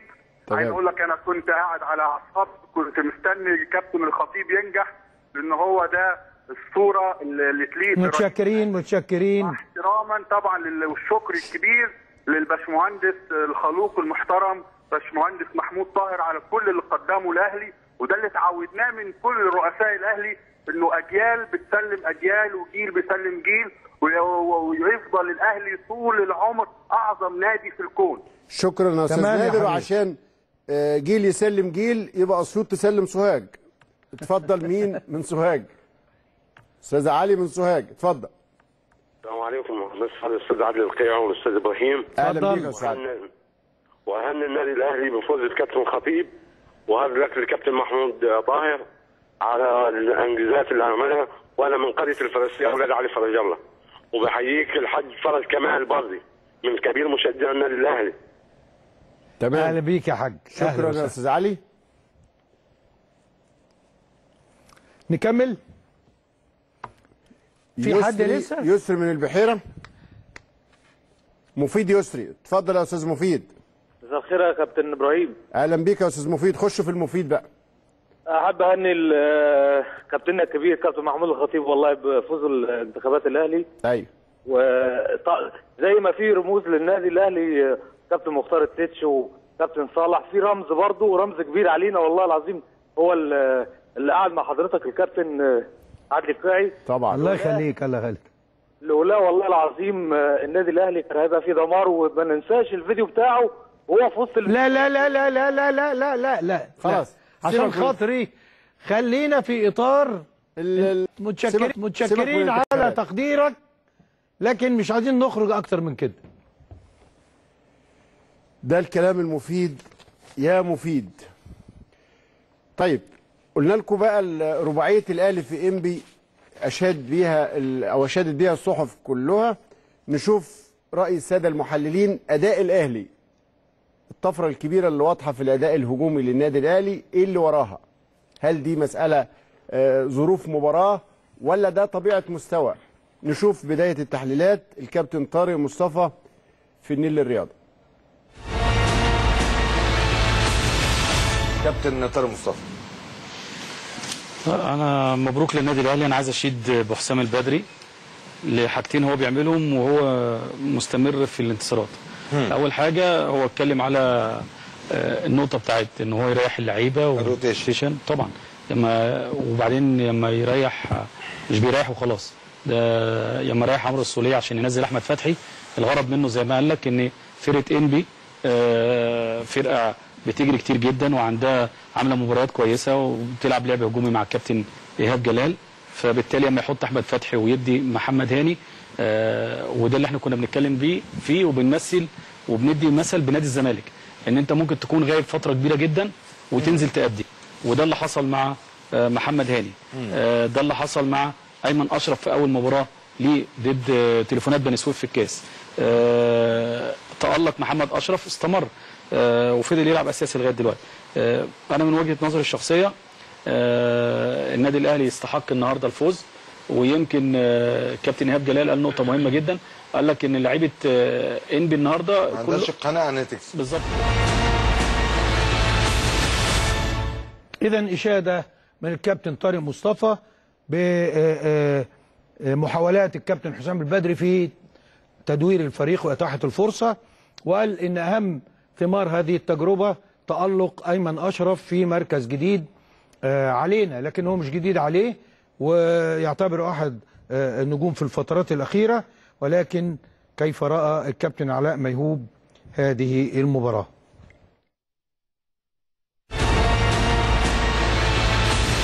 النادي الأهلي عنده 30 نجم. 30 نجم. يعني لو شفت النهارده الناس اللي بره الفرقة خالص ده النهارده رامي ربيعة قول الأسامي. ومعلول. اتفضل. حسين السيد باسم علي هشام محمد عمرو بركات ندفد محارب ميدو جابر أكرم توفيق صالح جمعة حمودي أحمد. حمدي. اتفضل. فأنت بتتكلم بس معاهم اللي بيعرف يتعامل معاه بالظبط. بس. انت دلوقتي إزاي توصل وفي جزء على اللاعب نفسه خلينا طبعا. بص بس في الأول والاخر هترجع ليه؟ بص يا كابتن خالد شخصية المدرب. إزاي تعمل حتة دايما المنافسة بين كل نجومك دي؟ هنا في النادي الأهلي معمولة بامتياز.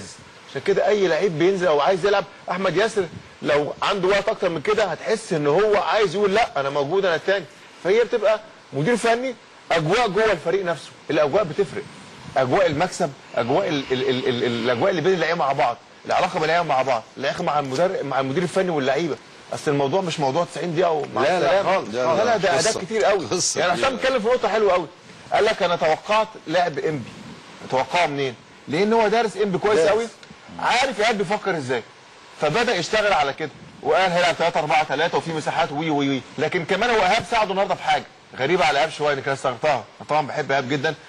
لعب على خط واحد. دي اللي فرقت قوي كمان في طريقة. لعب شوط إنك. عندك سرعات واللي نزل كمان سرعات يعني بكماني ده حاجة آه، سرعة مش طبيعية. وليد ازارو حاجة بيهلك أي دفاع. صح. آه جايب مهارته الحلوة بهدوءه عبد الله السعيد فمفاتيح اللعب في النادي الأهلي كتير. الوقت الفترة اللي فيها النادي الأهلي كابتن خالد اي لعيب بعيد ما بيلعبش هيلعب هيظهر ان هو راجل نجم. طيب. بمناسبة كابتن حسام البدري وعلى فكرة الكل اتفق في الاستوديو التحليلي النهارده ان الكابتن حسام البدري هو نجم اليوم. كابتن علاء ميهوب بيأكد على إنه الأهلي بقى عنده 30 نجم. بيعدل حتى اللي قاعدين على الدكة ما شاء الله أسامي تقيلة جدا. والزميل خالد لطيف بيشير على إنه نجم هذه الليلة حسام البدري.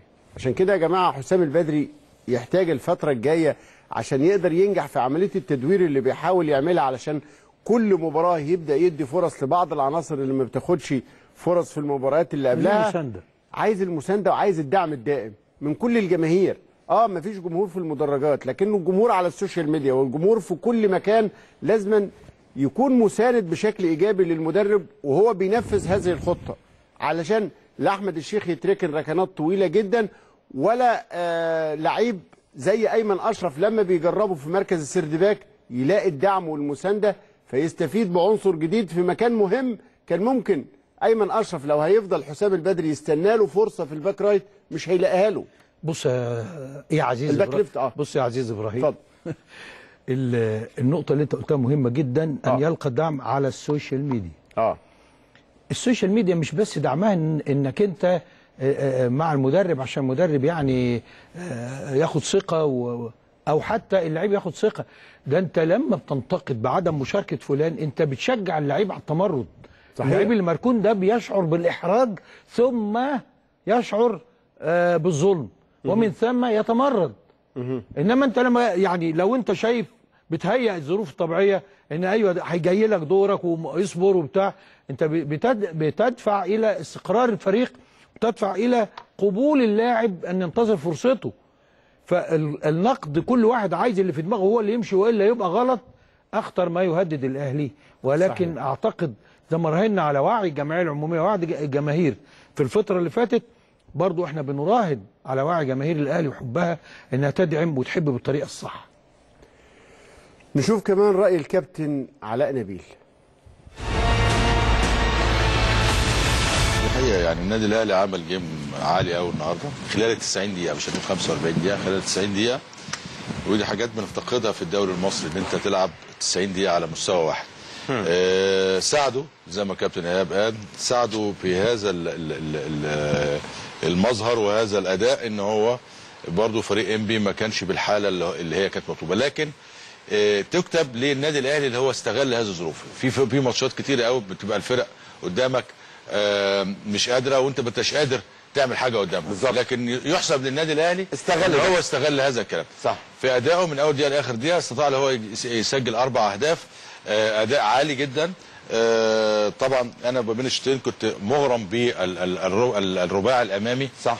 اللي هو تحركاتهم أهي. يعني في كل ال- ال- التوقيتات الرباعي ال- الأمامي موجود. ازار وجايه عبد الله السعيد. النهارده بيرجع يساعد في ال 18 وبيطلع.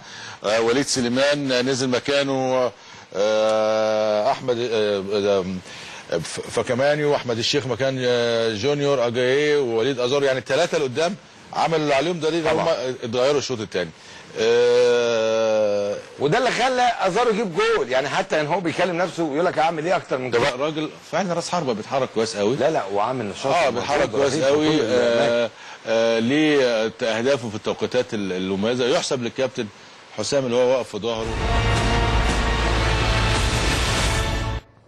يعني الكابتن علاء نبيل دائما آه، نقده عزيز يعني.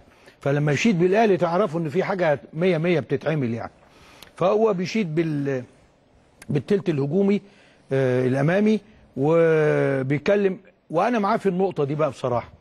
تملي يقول لك يا أصل الفريق اللي قدامه والكلام ده اتقال على الماتش اللي فات أيضا في الداخلية. أصل الفريق اللي قدامه ما أنت ممكن الفريق اللي قدامك ما يبقاش كويس وأنت مش كويس يبقى الماتش ممل. صحيح. لكن لما يكون الماتش على هذه الإثارة وتضييع فرص وإحراز فرص و و وانت واقف متوقع هدف في كل لحظة وتجيب هدف جميل جدا آه، في في في آخر دقيقة في المباراة في آخر ثواني في المباراة. هذه هي متعة كرة القدم التي يقدمها الأهلي الآن. ولكن وليد آه، صلاح الدين يعدد مزايا أزارو.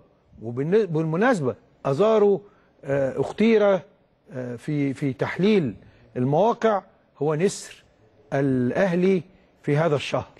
يعني عشان تعرفوا إن التحليل العلمي يوصل لنا نتائج صادقة. نشوف الكابتن وليد صلاح.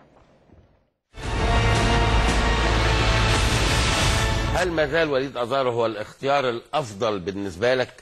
وهو طبعا على فكرة هو هداف الدوري بالنسبة للنادي الأهلي. برصيد خمس أهداف. صح. آه. لكن هو الأفضل دلوقتي؟ آه هو الأفضل. هو الأفضل دلوقتي. آه، النادي الأهلي خلينا ناخد الموضوع ببساطة شديدة. وليد أزارو لعيب كويس. كلنا اتفقنا إن هو خامة كويسة قوي عنده سرعة وعنده قوة و- وجسمه كويس وعنده لياقة بدنية عالية. آه، لكن وقال لك كابتن حسام بدر يضيف عليك قال على لسانه هو انه بيزعج الفرق الأخرى. وبيزعج الفرق الأخرى الأخرى وبيلعب مع زمايله وبيحضر لزمايله وهو 21 سنة. خلاص اتفقنا على كده. عنده مشكلتين من وجهة نظري. عنده استلامه استلامه تحت ضغط مش كويس. اجاييه أحسن. زائد آه، قراراته في التهديف أنا أنا وجهة نظري عايزة تتعدل. بمعنى إيه؟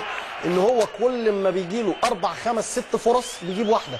وده مش كويس. لازم وليد أزارو النهارده كان لازم يبقى at least hat-trick النهارده ثلاث أو أربع أهداف كان المفروض هو يكون جايبهم. وليد أزارو أنت استحملته. وانت جبته بس استحملته. ما زال هو هداف الفريق خلي بالك. اوعى تنسى دي. ما فيش حد. لا هداف الفريق ده في الدوري انت. جايب 18 هدف هو جايب منهم خمسة. أيوه. ده دي نسبة أعلى أعلى score بالنسبة للعيبة اللي معاه. ما هو المهاجم لازم كده يا كابتن. هي آه. دي نسبة قليلة جدا بالنسبة لي. يعني معلش أنا استحملت على وليد أزارو ضياع بطولتين. وليد أزارو جه في البطولة العربية وقعد يضيع يضيع وخلاص خسرنا البطولة العربية. رحت البطولة الأفريقية قعد يضيع يضيع وضيع في الوداد هنا وضيع في الوداد هناك واستحملته وضاعت البطولتين. طبعا مش هو السبب الرئيسي لكن هو أحد الأسباب. ده رأي وليد في وليد. رأي الشيخ طه في أداء الأهلي في العموم إيه؟ نشوفه. كابتن إيهاب جلال ربما كان عنده بعض العناوين القوية منها كابتن طه قال إن أي فريق النهارده كان ممكن يكسبنا يعني مش بس الأهلي أي فريق كان ممكن يكسبنا. والله شوف هقول لحضرتك الحاجة يعني ال- الأمانة تقتضي وال fair play يقتضي إن أنا لما أطلع أتكلم لازم أتكلم كلام واقعي 100% مفيش نادي كان هيقدر يعمل اللي عمله مع إمبي بدليل النادي إمبي تعادل في الماتشين اللي فاتوا دولت وحتى في ماتشات منها كان خسرانة لكن ما حدش قدر إن هو يكسبه بالشكل ده. النادي الأهلي النهارده هو الأفضل من جميع النواحي. النادي الأهلي شارب، شارب يعني إيه؟ يعني في حده بدنية الماتش فات غير أزارو ولعب آه، ونزل آه، وليد بدل آه، بدل أزارو ولعب آه، أجاي راس حربة. نعم وراس حرب هل ده أفضل من وجهة نظر حضرتك ولا ولا الشكل ده أفضل؟ كل واحد له ميزة أجاي ميزته إن هو محطة كويسة يعني يقدر يستقبل تحت ضغط ويلف ويدور ويشغل, الناس اللي جاية من تحت. التاني اللي ازارو ميزته السرعه لكن في نفس الوقت بيضيع جوال كتير. بيقيسوا قدرته التهديفية اجمالا يعني. طبعا مش من مباراة واحدة على مدار المباريات اللي بيلعبها كلها. لما أنا أقيس بقى ازارو إن هو بيسجل من عدد الفرص اللي جت لا ضعيفة جدا. هت- هتبص ان هو بيسجل من كل ست فرص هدف. يعني النهارده هو سجل هدف من وسط أربع خمس فرص وقع في أول الشوط الأولاني.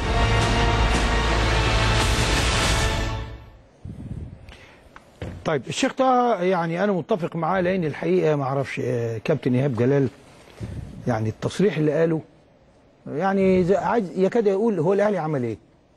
آه، أنا اللي كنت وحش. وأنا بتحمل مسؤولية. ده نوع من التعالي في التعليق. وأي ف... أي فريق كان ممكن يكسبك كان ممكن يكسبك. ماشي. استمر على كده. وورينا بقى يعني آه، إن الأهلي فعلا تصريح آه. أنا معاك في تعالي في وفي تعالي. غرور. يعني آه، وبعدين لا، خليك كمان السؤال يعني أنت يعني أنت قول أنا كنت وحش. إنما أي فريق يقدر يكسبني أنت عايز تسحب الكريدت من النادي أسباب الأهلي. تميز الفايز. وهو وكأنه في ذهنه المقارنة بينه وبين الكابتن حسام. لا أنت لسه بعيد عن حسام البدري. حقيقي يعني من غير زعل يعني. أنت مشروع مدرب كويس لكن إذا فضلت تقييمك لنفسك على هذا المستوى آه، اللي خلاك تسيب فرقتك وهي متأهلة لأفريقيا ثم خلاك النهارده. تقول هذا التعليق وقبل كده مش عارف إيه. ده يعني آه يعني يعني ده خصم من رصيده. يعني أنت خليك المدرب المتواضع اللي الناس تشيد بيك ما تحسسناش بالعظمة يعني. آه وهو لما يكون لما مدرب يقول لك أي فريق كان ممكن يكسبني النهارده طب هو مين المسؤول عن هذا السوء؟ وأنت المدرب. بصرف النظر ما بيقول لك أنا مسؤول ما دي نوع من الإيه؟ آه, آه تواضع المغرور. آه, آه, آه يعني حلو. آه, آه. يعني المغرور يقول لك يا راجل إحنا ده إحنا ناس غلابة. عشان أنت تقول له لا ده أنت عمنا. آه. فالكلام ده مسكنة. آه يعني أنت أنت مدرب بالتأكيد. لك بصمة لكن خلي بالك أنت دائما أقوى هجوم ودائما أضعف في الدفاع ما هو مش ممكن تبقى صدفة. يعني المغامرات الهجومية المدرب مش ملاكم آه، قاعد على كرسي آه، متحرك. انت واقف على رجلين لازم تبقى قوية. يبقى وانت بتضرب الضربات المؤثرة يجب تتحمل. الضربات مش هتتحملها إذا كان أقدامك قوية. فمساله إن أنت آه، سهل تندفع هجوميا وتجيب اجوان لكن أسهل منها إن يخش فيك اجوان فلما ما بتجيبش اجوان بتخسر. فالأهلي كان جيدا جدا جدا جدا وأنت ربما تكون سيء. انت حر في نفسك. إذا كان رأي أبناء ونجوم الأهلي الكبار الشيخ طه إسماعيل الكابتن علاء ميهوب الكابتن وليد صلاح الدين عن الأهلي بالإضافة للكابتن علاء نبيل والكابتن طارق مصطفى فما رأي كبار نجوم الزمالك في الأهلي؟ بعد الفاصل.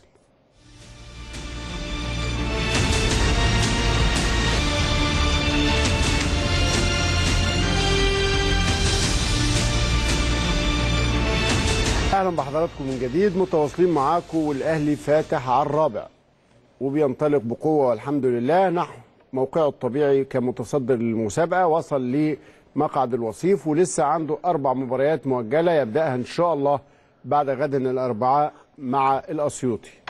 متواصلين مع الرؤية التحليلية لكبار السادة المحللين لكن الحقيقة الحق الحاحكم على الهاتف بيخلينا نحاول نتواصل مع أكبر عدد منكم علشان الناس ما تغرمش كتير على التليفون. معانا إسلام علي من سوهاج. اتفضل يا إسلام. مساء الخير يا أستاذ عبد الرحيم. أهلا بيك يا إسلام. اتفضل.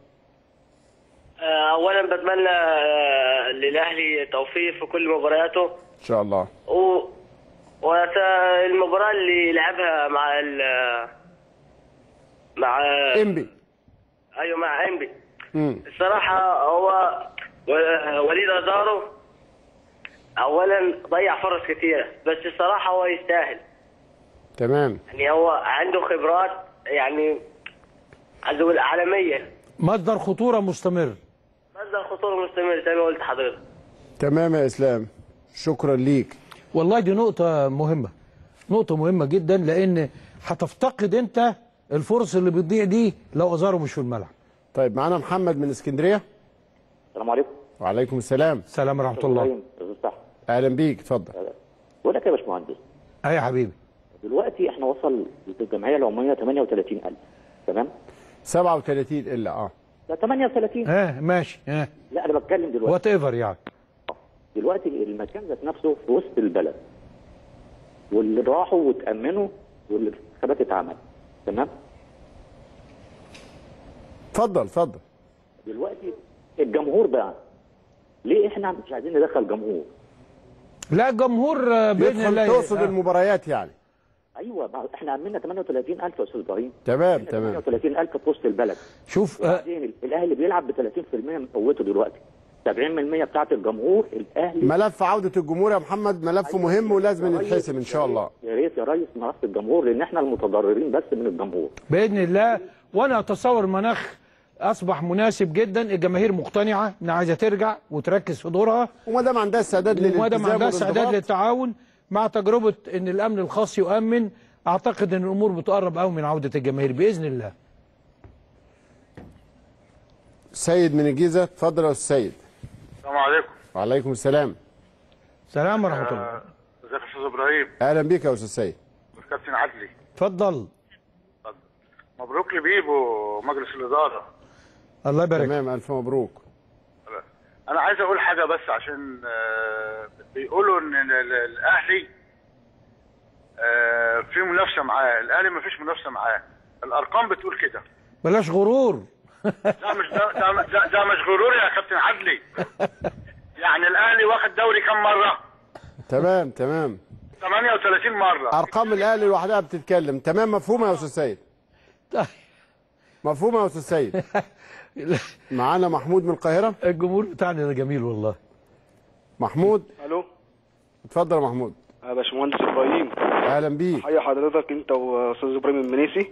تمام اتفضل. أنا أول مرة في حياتي أتكلم في التليفون. طب الحمد لله ان ربنا وفقك تمام. بحييكوا طبعا بس أنا أنا أهلاوي صميم جدا. أهلا. تمام. وأنا كمان آه، من عين شمس من بلد كابتن محمود الخطيب. تمام المنطقة جيران بتاعتك. كمان. كمان. والله تمام تمام. أنا عايز حاجة من من النادي الأهلي. النادي الأهلي مش ناقصه أي حاجة. في فلوس وفي كل حاجة. إحنا عايزين طموحاتنا كجماهير النادي الأهلي النادي الأهلي يبقى أفضل نادي في العالم. بإذن الله تعالى. فيها إيه؟ لو لو ناخد كأس العالم. مش كتير والله.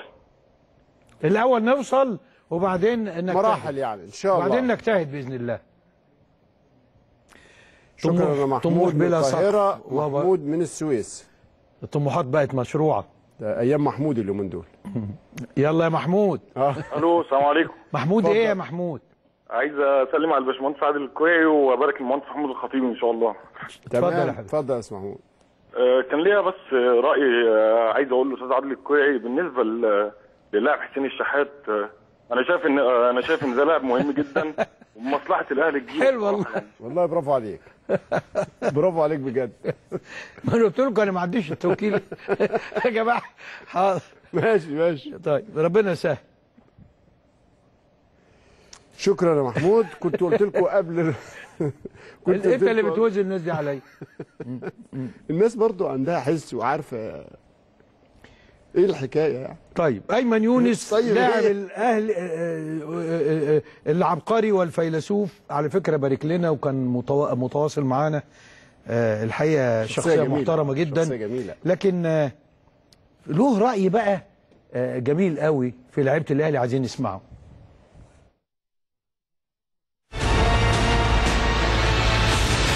عمرو جهاد جلال كمان الأسلوب الدفاعي في هجمات الأهلي اللي هو الاعتماد الاعتماد على إيجاد حائط لصناعة التسلل وإيقاع لاعبي الأهلي في التسلل.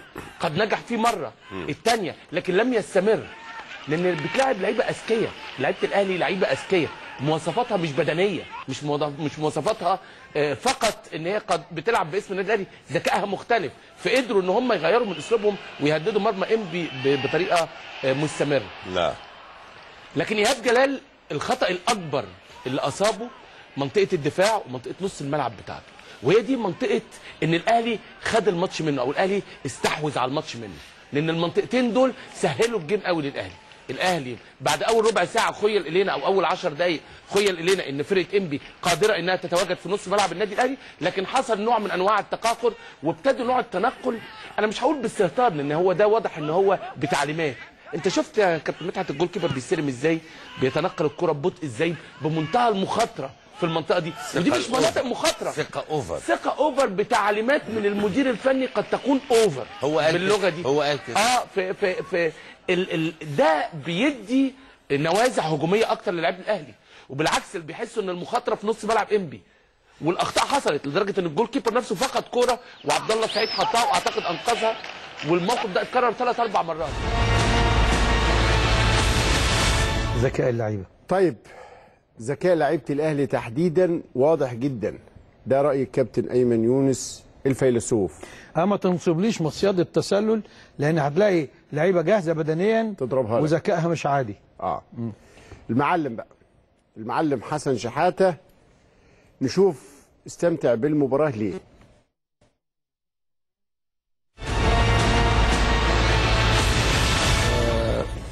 إحنا قلنا قلنا قلنا ان الشوط الأول حلو قوي كابتن إيهاب جلال مع لاعيبته على الأقل خلاهم يلعبوا passing game بشكل كويس قوي لكن ما كانش فيه خطورة. وأنا يمكن قلت الحاجة الوحيدة اللي ممكن إذا كان هو قايل لهم على الطريقة دي إن هو يكون غلطان فيها إن ما فيش حد دلوقتي بيلعب offside game وال offside game كان في الشوط الأول أتاحت للنادي الأهلي أكتر من فرصة وكلها أغلبها انفراد.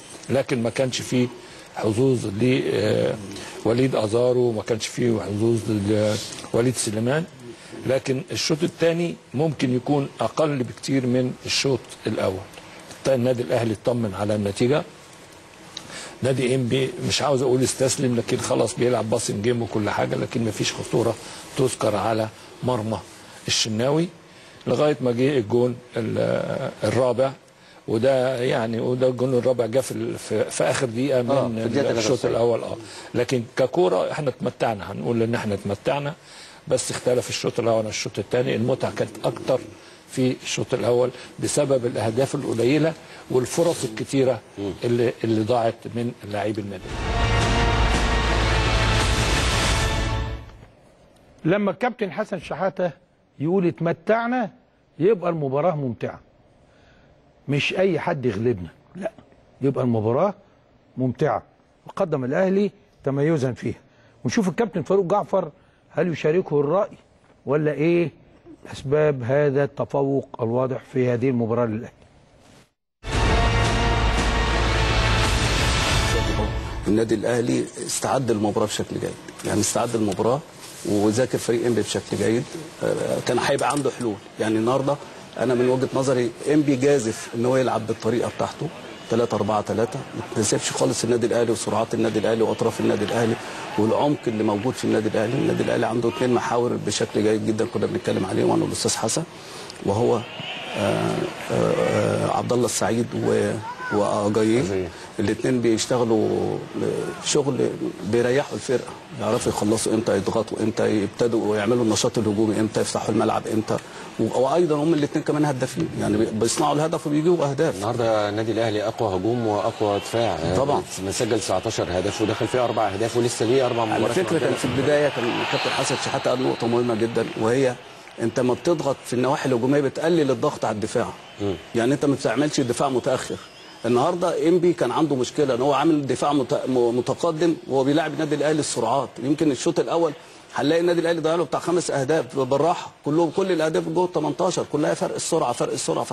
تلعبش قد- قدام النادي الأهلي وفرقة عندها سرعة وعندها خبرات وعندها مهارات وت... وتدافع دفاع متقدم.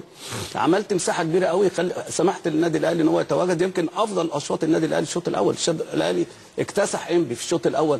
لو ممكن كان جاب عايز يجيب سبع ثمان أهداف كان النادي الأهلي يعني يقدر يجيبهم. وبس الأهلي كان في انتظار إن انبي يبقى ند ليه. أنا طبعا النهارده بيقولوا أو أنا كان الكابتن سباعي بيقول إنبي ند مع النادي الأهلي. لا خالص خالص. النهارده إنبي ما كانش ند خالص. ده النادي الأهلي مسيطر ومستحوذ حتى حتى لو كان يا كابتن فاروق الشوط الأول. في الربع ساعة. في الربع ساعة. إن هو بيمسك الكرة يسلم ومش عارف. لكن ضيع أهداف. وكان مفيش ضيع أهداف. لا ما ضيعش أهداف. خلاص ما يبقاش ند. آه. النادي الأهلي الناح- الناحية الثانية ضيع له بتاع ست أهداف. طيب كابتن فاروق جعفر لا إنبي ما كانش لا ند ولا حاجة. هل الأهلي تفوق بسبب إيه؟ ده اللي حاول الكابتن زكريا ناصف يجاوب للكابتن فاروق جعفر عليه.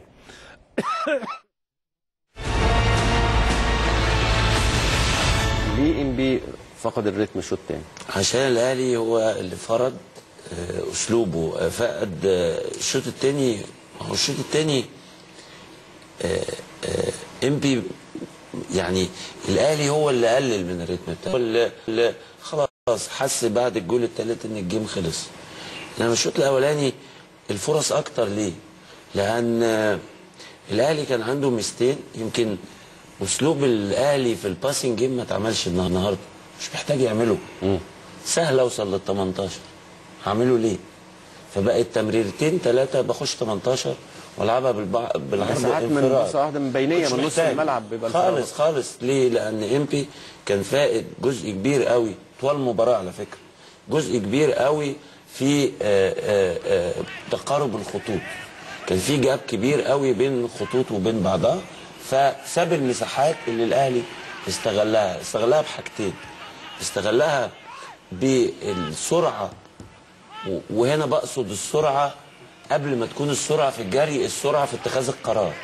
اللعيبة محضرة القرار قبل ما بتيجي الكورة. الوان تو بيتعمل في مساحة بقرار من اللعيبة بسرعة جدا. وبالتالي عندي مساحة فهلعب فيها بسرعة. الجزء الثاني غير السرعة في القرار والسرعة في الجري إن الكورة في المساحات آه، التمرير بتاعها متقن في دقة. إني بحطها في ال timing في المساحة دي بتروح زي جول أجاييه كده مش محتاج غير one touch وأجاييه واخد القرار قبل ما يروح للكورة إنه هيلعبها one touch يبقى هنا في سرعة في اتخاذ القرار للعيبة وفي دقة في التمرير في المساحات للعيبه نسبة تركيز عالية جدا من اللعيبة النهارده للعيبة النادي الأهلي. التفوق كله في تركيز والتزام وهدف محدد للعيبة النادي الأهلي إن هم يخلصوا الجيم. الكابتن زكريا آه، يعني يتحدث إن الأهلي هو الذي فرض أسلوبه ويعني خلى آه، انبي يلعب بالطريقة دي.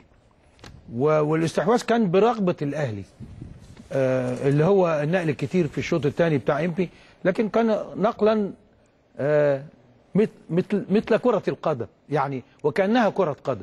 يعني لم يؤدي إلى أي فاعلية ولم يؤدي إلى أي خطورة آه، على النادي الأهلي. ولكن الكابتن حسن مستكاوي بقى هتسمعوا رأي بيؤكد كلامي. يعني أنا وأنا بقرأ كده الكابتن حسن مستكاوي قال إيه؟ الأستاذ حسن مستكاوي اسمعوه الأول. النهارده آه، هو الأهلي ما كسبش أربعة عشان آه، عشان الان بي وحش. لا عشان الأهلي كويس جدا. الأهلي فرقة بتلعب كورة جماعية. الأهلي هقول حاجة صعبة شوية يعني في التعبير. الكورة بتاعته تمريرات التمريرات كلها للمستقبل. مستقبل في المكان. يعني كلها لقدام. يعني كلها تقريبا تقريبا وخصوصا الأربعة ال- المهاجمين بتوع. الأهلي. آه، آه، الباس بيبقى آه، في يعني إيه؟ في مساحة قدام ال- الزميل. مش في ظهره مش بعيدة عنه. في إحساس وتفاهم وانسجام. وحفظ البعض الأربعة دول. فلما يجي يعمل تمريرة بيديها له في المكان اللي هو هيكون فيه. المسألة دي بتفرق أجزاء من الثانية. ده الانفرادات كلها بالشكل ده تقريبا. التم التمريرة بتبقى قدام الزميل. بتبقى يعني يعني آه أنت عارف الجون بتاع ميسي في في فرنسي في في الدوري الإسباني كرة اداها الخردي ألبا آه من يعني في أربعة بيجروا قدامه هو لاعب واحدة الناس تقول لك هو شافه إزاي؟ هو ده هو ده ده ميزة مهمة جدا في تمريرات النادي الاهلي اللي هي في الجزء ال- ال- الهجومي. آه، إنما آه، هو انبي ما خسرش عشان هو وحش. لا عشان هو لعب بطريقة ما ينفعش تلعب بيها قدام الأهلي ما تنفعش تلعب في سايد جيم قدام الأهلي. آه، ما ينفعش كمان تضيق تلعب على الدايره قدام الأهلي لأن الأهلي ده حصل مع الزمالك بس الفرق الزمالك والرجاء كان كذا الشوط الأول كله تقريبا على الدايرة. بس الزمالك ما قدرش يستفيد من من ال من ال من إيه؟ من الفدان اللي ورا الدايرة بتاعه الرجاء بالظبط. لكن الأهلي لا بيستفيد. وده فرق مهم جدا. فما تض- ما تضغطش الملعب الأهلي لأنك مش هتقدر على حاجتين. سرعة لعيبة الأهلي ومهارات الرباعي الهجومي في التحرك وفي التمرير. ده مش هتقدر عليه يعني. طيب ده آه، رأي الكابتن حسن المسكاوي في ختام هذه الجولة التحليلية اللي أنا أعتقد عرفته من خلالها لا حضراتكم. بس لازم نأكد على النقط معلش. أنا عارف إنك أنت عايز تاخد تليفون رجب بس رجب هينبسط وإحنا بنتكلم آه. آه على هذا الرأي الفني. الرأي الفني ده بيقول ما هو ما, ما الأهلي ما كسبش أربعة عشان إم بي وحش. هو كسب أربعة لأن هو كويس. كويس, ومحدش يقدر يلعب بالطريقة دي مع النادي الأهلي لأن الأهلي سرعته هائلة. آه. وده اللي كان واضح جدا. أزارو طلقة آه، با- باكا طلقة آه، في سرعات في النادي الأهلي وسرعة التمرين بين أجاييه وعبد الله السعيد آه، بتعوض سرعة العدو. أحيانا الكرة وكره أسرع من اللاعب دائما. بت... ال one two هات وال one two 3 اللي بتتعمل في الملعب وبتتكرر مرة واثنين وثلاثة وك... وجمل محفوظة. تشعر إن الثنائية اللي بين أجاييه وعبد الله السعيد هي ثنائية حقيقية. آه، ف... فايضا أنت لازم آه، تعطي الأهلي آه، يعني أنا أنا بدأت دلوقتي أحس لما تيجي تقول لي إيه هو الأهلي محتاج فراودة؟ الأهلي محتاج إن اللي عندنا يدوا أفضل حاجة عندهم لو عملوا كده هنبقى فرقة مرعبة لأن السرعات يا أستاذ إبراهيم دلوقتي هي كرة القدم آه، محمد صلاح مدوخ العالم بإيه؟ بسرعته. سرعته فالنهارده لما يبقى عندك هذه السرعات وكمان حسن إنهاء الهجمة أو التأكيد عليها أو إمتى تلعبها لزميلك وإمتى تخلصها آه، دي خبرة وهتيجي. آه، فرقة الأهلي أنا متفائل بمستقبلها بإذن الله. ممكن سرعة تلبية للتليفونات؟ ناخد الأستاذ رجب بقى. رضا؟ رجب أستاذ فندم. رضا من البحيرة اتفضل رضا يا ولا. رجب؟ أنا أول بمسي على الأستاذ إبراهيم المنيسي. أهلا بيك يا أستاذ رضا اتفضل. أنا يا فندم هو بمسي على بقى الأسطورة بتاعتنا الكابتن عادل القيعي اتفضل يا اتفضل يا أستاذ رضا. لا بقى كفايه كابتن عدلي أنت بجد أنت أنت أسطورة. إحنا لو بإيدينا يا كابتن عدلي نعمل لك تمثال جنب تمثال صالح سليم يا الله. مؤكد يستحق كل عادل أنت أنت التقدير. أنت أنت أنت أبكيتنا بجد أبكيتنا أنا شخصيا يوم يوم الجمعية العمومية. وانت وانت ماشي في وسط تمام تمام يا خلاص أستاذ رضا خلاص سيبك من خلاص التفاصيل. خلاص. سيبك من التفاصيل. عايزين ننسى الانتخابات من النبي. آه.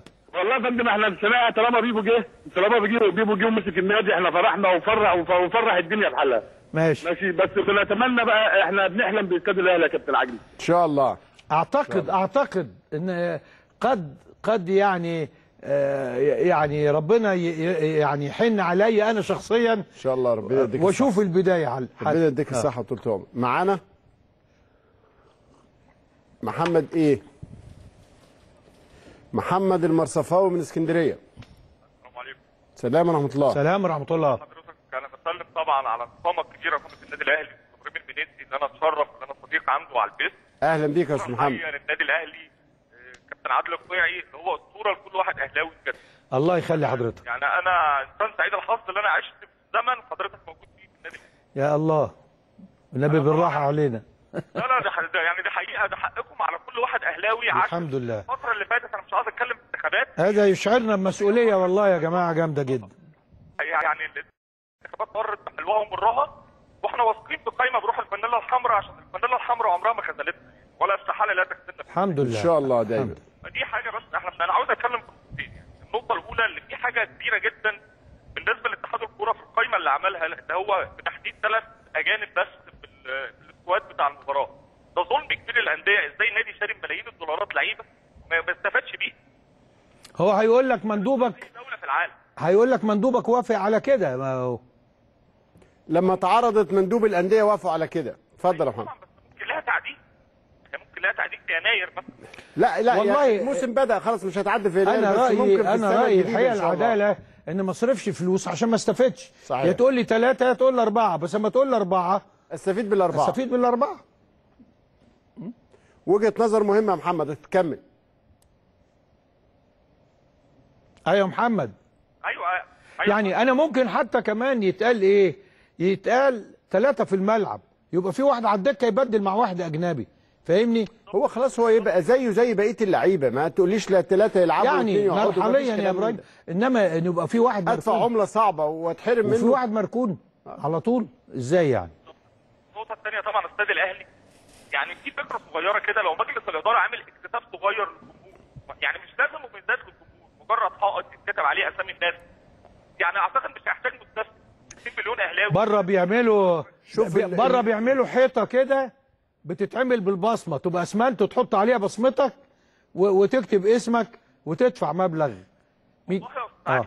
والله يعني جمهور الأهلي مستعد اللي هو يمول مش بنحتاج لمستثمر شوف هو الم- المؤكد إنه ملف الجماهير وروابط الجماهير هيكون لها آه، شغل الفترة الجاية إن شاء الله. إن شاء الله وأنا سعيد جدا بالفرصة دي يا أستاذ إبراهيم والاستاذ عادل ألف شكرا كتر خيرك شكرا يا. محمد. معانا؟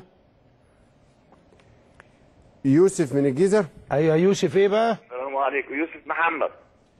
شوف هو الأستاذ المهندس عدلي رأيه صح إنه يذكر الاسم على الأقل الشخص واسمه اسمه إيه بالكامل إيه علشان تبقى المسألة مين عارف اللي بيتكلم اسمه إيه.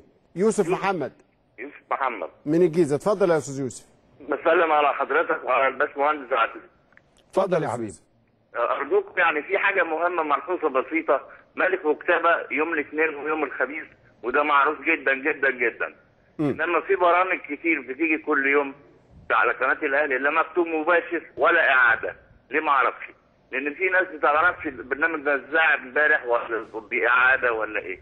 أرجوكم يعني اهتموا بالموضوع ده. رأي فني إنه حلو هو مكتوب على الشمال تحت. لا مش بالنسبة لملك وكتابه هو عايزها في كل البرامج. على كل البرامج. اتفضل اتفضل طيب. اتفضل شكرا. إبراهيم من الشرقية. السلام عليكم. وعليكم السلام مبروك من النادي الاهلي طبعا الأستاذ إبراهيم إيه يا جماعة من فضلكم اللي يخش يقول اسمه ثنائي على الأقل. يوسف. إبراهيم اتفضل يوسف. يا إبراهيم أستاذ إبراهيم يوسف. اتفضل. أهلا وسهلا يا باشا. بنبارك من النادي الاهلي طبعا على الانتخابات. اتفضل. وبن طبعا على الفوز العريق بتاع آه، إنبي. أيوه ده جميل ده. آه. آه طبعا. والى الامام إن شاء الله وإحنا خلف الكابتن حسام البدري إن شاء الله. طيب يا حبيبي تمام كده. كل واحد مجتهد ياخد حقه. ياسر عاشور من اسكندرية. اتفضل يا ياسر. السلام عليكم. وعليكم سلام ورحمة الله. اتفضل. تحياتي للمهندس عبد الكيعي والأستاذ إبراهيم المنيسي. أهلا بيك يا أستاذ ياسر. اتفضل. أنا ببارك لمجلس إدارة النادي الأهلي. أها. وببارك للكابتن حسام البدري على النتائج الممتازة. تمام. اتفضل ونتمنى سيادتك كده نشوفوا الاستاد قريب. يلا يا حبيبي. يعني لو عملنا افتتاء اكتتاب يا جماعة أو عملنا شهادة كده نقول هذا المشجع ساهم مع ناديه ونعمل شهادات تبدأ ب 100 جنيه ل 1000 جنيه مثلا. كل واحد بقدرته. تفتكروا يا جماعة يعني هنقدر نعمل حاجة؟ موافقين على كده ولا إيه يا أستاذ ياسر؟ موافق- موافقين يا باشمهندس. طيب هنعمل في أفكار من هذا النوع ونشوف. شكرا يا أستاذ ياسر.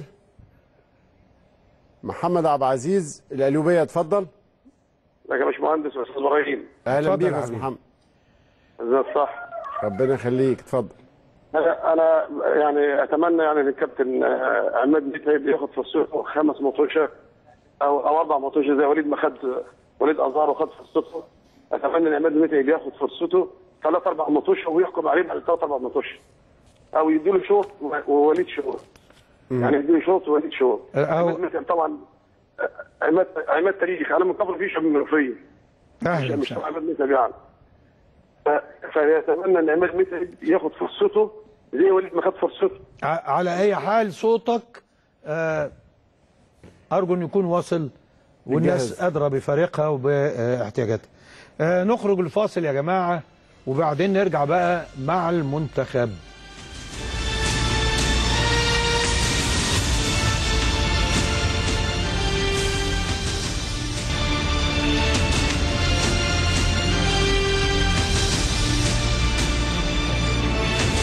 أهلا بحضراتكم من جديد والحقيقة يعني إحنا مقدرين تهافت حضراتكم على الاتصال ومتأك... وبرضه مقدرين تماما إن أنتوا عندكم الرغبة في التعبير عن مشاعركم. بنحاول بقدر الإمكان نحد من الكلام عن الانتخابات بنحاول نخلي الناس خلاص التبريكات وصلت والتهاني وصلت ومشاعركم الجميلة جدا وصلت وكل الناس تأكدت أنه لا انفصال ابدا.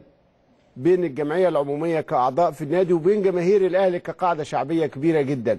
طول عمرها الجمعية بتعبر عن آراء الجماهير وعمر ما حد اعتقد إنه في فاصل ولا فارق بين الاثنين عشان كده تهافتكم على الاتصال بينا ورغبتكم في إبداء وجهات نظركم وبنقيمها بنقيمها جدا حتى لو على حساب فقرات البرنامج. طول عمر ملك وكتابة من أول لحظة بدأ فيها وهو برنامج صوت الجماهير الأهلاوية. معانا على الهاتف محمد سمير من الدقهليه اتفضل يا محمد. السلام عليكم. وعليكم السلام. السلام ورحمة الله. أستاذ عدلي أستاذ إبراهيم. اتفضل يا حبيبي. أهلا بيك. مساء الخير عليكم. مساء النور يا حبيبي. حضرتك في سؤال أنا عايز أسأله للأستاذ عادل القيعي. اتفضل. إحنا بنحبك ليه يا كابتن؟ أيوه كده احرجوا يا عم. أنتوا بتحبوني ليه؟ اولا أنتوا بتحبوني دي دي معلومة أنا ممتن إليها، ليه بقى أنت اللي تقول لي؟ لا لا إحنا إحنا بنحبك حب جامد قوي يا كابتن والله الحمد لله يا حبيبي ربنا يديم المعروف. يا رب أنا أنا اتصلت يوم ما البرنامج بتاع حضرتك رجع بعد التوقف الطويل كنت في الليلة دي كنت من المتصلين اللي, اللي ساعدهم الحظ كنت أول مرة أعمل مداخلة يعني فعملت مداخلة مع حضرتك طيب تمام. الحمد لله إنك بتعرف تتواصل معانا. آمين يا رب. طيب حضرتك في عدة نقط عايز أتكلم فيها حضرتك بالنسبة للنادي الأهلي. إحنا طبعا يعني مش عايز أقول لحضرتك جمهور النادي الأهلي في الدقهليه عامل إزاي يعني؟ في المنصورة جمهور النادي الأهلي جمهور كبير جدا يعني. تمام. فعايزين نستفاد من حب الجمهور في في بناء الاستاد بتاع النادي. آه، ليه ما نلعبش على الحتة دي؟ والحتة دي نحطها ونستعمل. لو عندك أفكار ابعتها لنا ونطرحها. طيب. آه، آه، آه، ماشي مفيش مشكلة. طب تاني حاجة؟ تاني حاجة آه عايزين إن شاء الله نشوف ال ال ال ال آه، قناة النادي الأهلي آه، ما تبقاش محسوبة على أي مجلس يعني مش عايزين اللي حصل في في الفترة الثانية الفترة اللي عدت بإذن خلاص. الله. رأيك مفهوم ووصل وواضح وده عدي. وده يعني محل ده المفروض. آه اتفضل محمد محمد إبراهيم من سوهاج مساء الخير يا فندم. أهلا مساء الخير يا محمد. مساء النور. أنا سعيد جدا إني بكلم حضرتك وإني أحب الباشمهندس عبد القيعي في الله. الحمد لله الحمد لله. يستحق كل الحب. اتفضل. ربنا يخليك أنت رجل أنت رجل جميل. ربنا يخليك يا فندم ربنا يخليك. بن- بنبارك الباشمهندس الكابتن الخطيب والأهلي دايما إن شاء الله في أمان برجاله وبالباشمهندس عبد القيعي والأستاذ إبراهيم. وربنا يبارك فيكم للاهلي دايما إن شاء الله ودمتم رجاله. شكرا الحمد لله على. الدعوات الصالحة. نشكرك. معانا؟ عبد الوهاب من القاهرة. اتفضل يا أستاذ عبد الوهاب. عبد الوهاب توفيق شهيب من القاهرة عين شمس. أهلا بيك يا أستاذ عبد الوهاب. كده. عبد الوهاب توفيق شهيب. آه من عين شمس. يعني الراجل. اتفضل يا أستاذ عبد الوهاب. آه تمام كده. اتفضل ماشي أنا مع حضرتك. اتفضل يا حبيبي. اتفضل السلام عليكم. سلام ورحمه الله إزيك يا باشمهندس عدلي؟ الحمد لله أهلا إزيك بك. يا أستاذ إبراهيم؟ ازي حضرتك؟ أهلا بيك يا الوهاب اتفضل. مبروك للنادي الأهلي. ألف مبروك. الله يبارك فيك يا باشا. وأنا ليا ملاحظة أتمنى إن يعني الاستاذ الكابتن حسام البدري يعني ياخدها في الاعتبار. اتفضل. آه يعني حضرتك المفروض أحمد الشيخ ده كان هداف الدوري السنة اللي فاتت. فالمفروض يديله مساحة أكبر عشان هو عنده موهبة جامدة جدا. فيا ريت يعني الأهلي يستفيد منها. حاضر. سامعها هو هو, هو سامع كلامك دلوقتي. و- وهو تأكد الكابتن حسام بيعمل أفضل شيء للفريق. آه يا ريت والله باشا الله. يعني. ماشي يا فندم. شكرا جزيلا. ألف برضو بنقدر اتصالات الأصدقاء الأعزاء في رابطة محبي الأهلي في فلسطين. رابطة محبي وعشاق الأهلي الأصدقاء الأعزاء علاء خالد وأسامة عمر وضياء وخليل وكل الأخوة الأشقاء الغاليين علينا جدا في غزة. الحقيقة كنا نتمنى أنه الاتصالات تسمح أن إحنا نقدر نتواصل معاكم لكنه اعذرونا لضغط هذه المباريات الاتصالات معانا معانا مكالمة آه، آه، مرعي عبد الله. من قطر. اتفضل يا أستاذ مرعي. ألو السلام عليكم. وعليكم السلام. السلام ورحمة الله. آه، إحنا بنمسي على حضرتك الأول وباشمهندس عدلي وشرف لنا إن إحنا نعمل مداخلة مع حضرتك. اتفضل يا فندم. اتفضل. آه، بنبارك للكابتن محمود الخطيب ونبارك للنادي الأهلي. ونرجو خلال الفترة اللي فاتت نفعل الفترة القادمة نفعل لجنة الكورة تاني ونحسن اختيارات اللعيبة اللي تكون على مستوى النادي الأهلي. إن شاء الله. نستغل اللعيبة اللي بتيجي تلعب في النادي الأهلي مش أي حد يلبس قلب الفانيلا دي تمام. آه، ده شيء الشيء الثاني آه، أرجو آه، إن إحنا نستغل اللي هي البطولات الخاصة بالنادي الأهلي و- والإنجازات الخاصة بيه. وليه ما نعملش إن هو يكون اللي هو متحف خاص بالبطولات يتعرض فيها اللي هي ال- المتحف اللي هي المتحف آه، مدروس دراسة كاملة. مشروع أنا شفته عند المهندس عدلي وأعتقد إن المجلس معني. بتنفيذه بإذن الله. شكرا يا أستاذ مرعي. أحمد محمد من أسوان. أستاذ أحمد. السلام عليكم. وعليكم السلام. ازي الحال يا أستاذ عدلي؟ الله يخليك يا أستاذ محمد. أستاذ إبراهيم. أهلا بيك يا أستاذ أحمد اتفضل. عاملين إيه يا باشا؟ كله تمام. والله أنا من ثلاث أيام كده وأربع أيام أيوه. قريت في في جريدة الجمهورية. أيوه. في عمود بدون مجاملة. آه. آه، الأستاذ محمود معروف طبعا الأستاذ الكبير محمود معروف. امم كاتب آه، بيقول زعلان من كلمة آه، الأهلي فوق الجميع. امم واخد بال؟ حضرتك؟ امم فكلمة الأهلي فوق الجميع إحنا نقصد بيها إني فوق الجميع الأندية سواء المصرية أو الأفريقية. لا لا. لا مش م... لا مش مقصود كده نقصد. بيها جميع أبنائه. الأهلي فوق جميع أبنائه ومصلحته هي أهم من مصالح أولاده. وهو الأستاذ محمود معروف عارف كده يعني. آه. تمام هو كاتب الأهلي من تحت خالص الأهلي فوق رؤوسكم أنتم. ما هو صح. واخد بال حضرتك؟ هو فوق رؤوسنا إحنا فعلا. إيه قول للأستاذ محمود آه، ابعد أنت. يعني إيه المشكلة؟ هو فعلا فوق رؤوسنا إحنا. ما حدش قال إنه فوق رأس الأستاذ محمود معروف اطلاقا يعني. صلاح الدين محمد من القاهرة. اتفضل يا اتفضل أستاذ يا صلاح أستاذ صلاح. السلام عليكم. سلام ورحمة الله. لو سمحت يا أستاذ الأستاذ آه، حسام البدري ليه ليه- مموت عماد متعب؟ طيب آه عماد متعب. آه حدش بيموت عماد. اتفضل. حاجة تاني؟ لا مفيش حاجة. طب يا حبيبي. أحمد فتحي الدقهلية. ده آخر تليفون معانا. وعليكم السلام. اتفضل. مؤقتا. آه. إبراهيم أهلا بيك يا أستاذ أحمد اتفضل. آه، باشمهندس عدلي. اتفضل يا حبيبي. خير آه أنا بس هتكلم في نقط عشان ما أطولش عليكم. اتفضل. آه بالنسبة للنقطة الأولى بالنسبة للاستاد الأهلي آه ممكن ممكن تعملوا حاجة زي طبعا هو ال ال المشروع الاستاد هيتمول مش كده؟ آه طبعا. آه. طيب ليه ما جمهور الأهلي ما يمولش المشروع كله؟ والله يعني أصل تجارب تمويل ال- ال- الجماهير ما بيقدرش يجمع ال- ال- ال- التمويل المطلوب ضخم جدا جدا يعني. ما انت جمهور الأهلي ضخم جدا. ما هو جمهوره ضخم و... وعلى فكرة يعني اللي عنده فكرة يبعتها لنا. أنا بتكلم على أساس إن جمهور الأهلي هو يدعم يدعم المشروع كله وان شاء الله. ما هو جماهير جماهير الاهلي جماهير الأهلي لو كل واحد دفع 100 جنيه ها؟ أيوه. هنلم أكتر من مليار. يعني يعني آه، طب انت حضرتك حليتها اهو. لا إن شاء الله أنا أنا واثق في جمهور الأهلي ممكن يمول المشروع كله إن شاء الله. بإذن الله. و- آه، وفي نقطة ثانية تسمحوا لي؟ اتفضل. أشكرك جدا جدا. أنت والب- الأستاذ إبراهيم على الحلقة بتاعت يوم الاثنين اللي فات. شكرا جزيلا لأنها يعني غيرت مفاهيم كتير عند الناس كلها وبالذات ربنا يخليك. انسى بقى الانتخابات بقى. لا أنا ما بقولش أنا والله ما, ما- والله العظيم إحنا كنا بنتكلم على أحداث مش على أفراد. يعني طول عمرنا وعايز وده نهج البرنامج. نتعامل مع الحدث ومع القرار ومع القضية وليس مع الأشخاص ابدا. عدلي والمهندس والأستاذ إبراهيم أنتوا ناس آه، يعني انت غني عن التعريف. انت أستاذ إبراهيم. الحمد لله. شكرا يا أستاذ أحمد.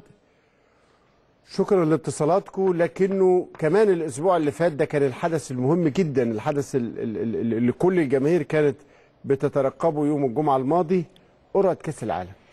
مصر راحت كأس العالم بعد غيبة طويلة عندها أمل بإذن الله تعالى تحقق حاجة في روسيا. إيه اللي ممكن يحصل في روسيا؟ الناس كلها كانت بتربط حتى التمني بتاعها بالقرعة. جاءت القرعة في وجهة نظري آه، هادية شوية بالنسبة لل- للمنتخب المصري. قرعة تقدر تتكلم فيها. ناس تقول لك متوازنة ناس تقول لك صعبة ناس تقول لك الصعب الممتنع وناس تقول لك الممتنع الصعب. لكن في كل الأحوال مؤكد إن إحنا أفضل حالا من اللي بعدينا. لأنه لما يكون يا باشمهندس مصر في المجموعة الأولى معاها روسيا والاوروجواي يا, يا, أستاذ إبراهيم اورجواي عندها أحسن اثنين forward في العالم. كويس ماشي. كافاني وسواريز. كويس بس المجموعة الثانية إيه؟ المجموعة الثانية لما ألاقي المغرب الشقيق وقع مع إسبانيا والبرتغال وإيران.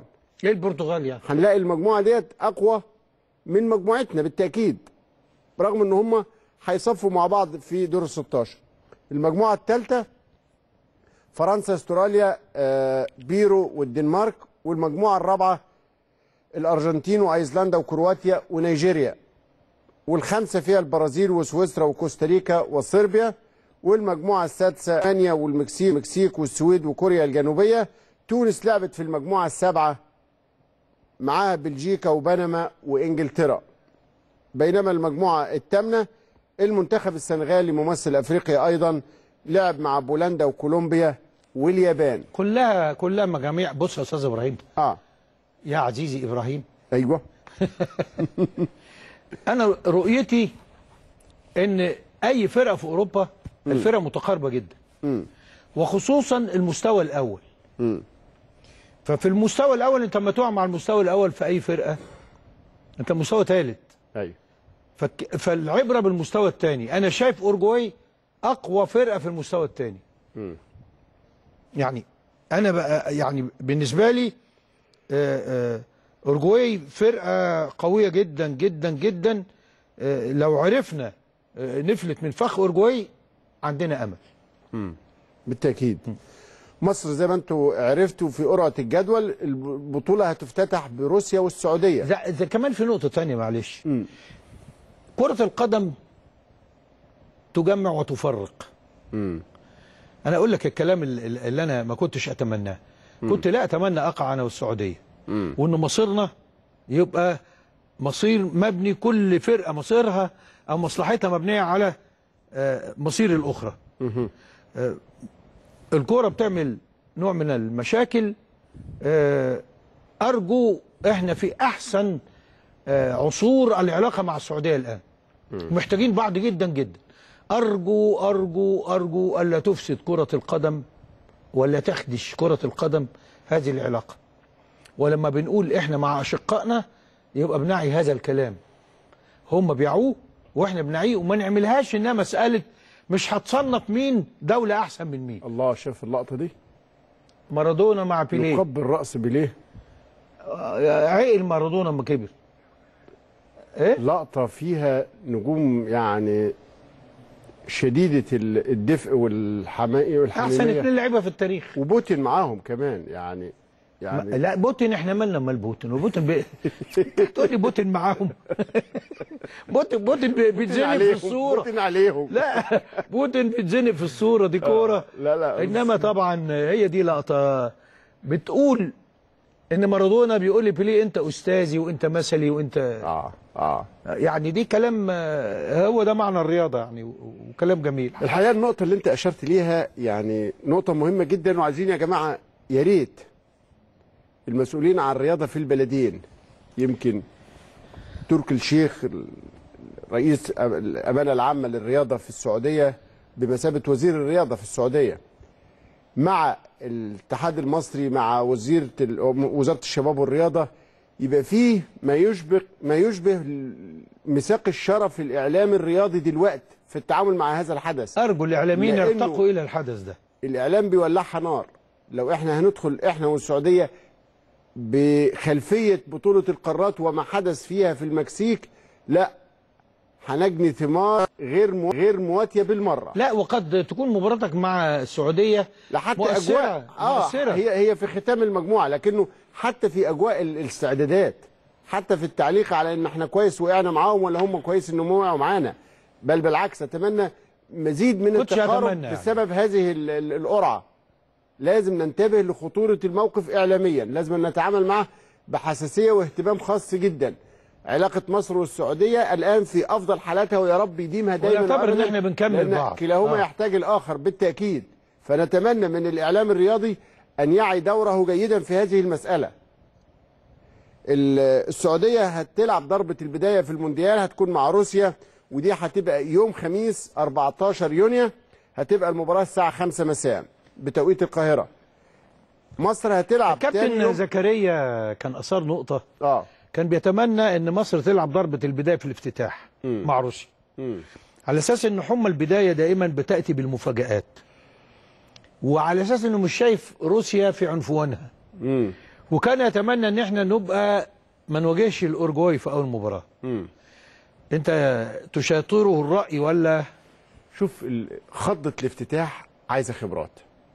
يعني عشان فريق يلعب ضربة البداية في افتتاح حدث هو غايب عنه بقاله سنين طويلة جدا بل الأجيال اللي هتلعب ديت فيهم ناس كتيرة ما شافتش مصر وهي في كأس العالم أصلا. يعني حتى 90 في ناس ما توعاش عليها كانت. لكنه إن إحنا نلعب مع الأوروجواي آه ممكن تكون بداية بالنسبة لنا تقيلة شوية.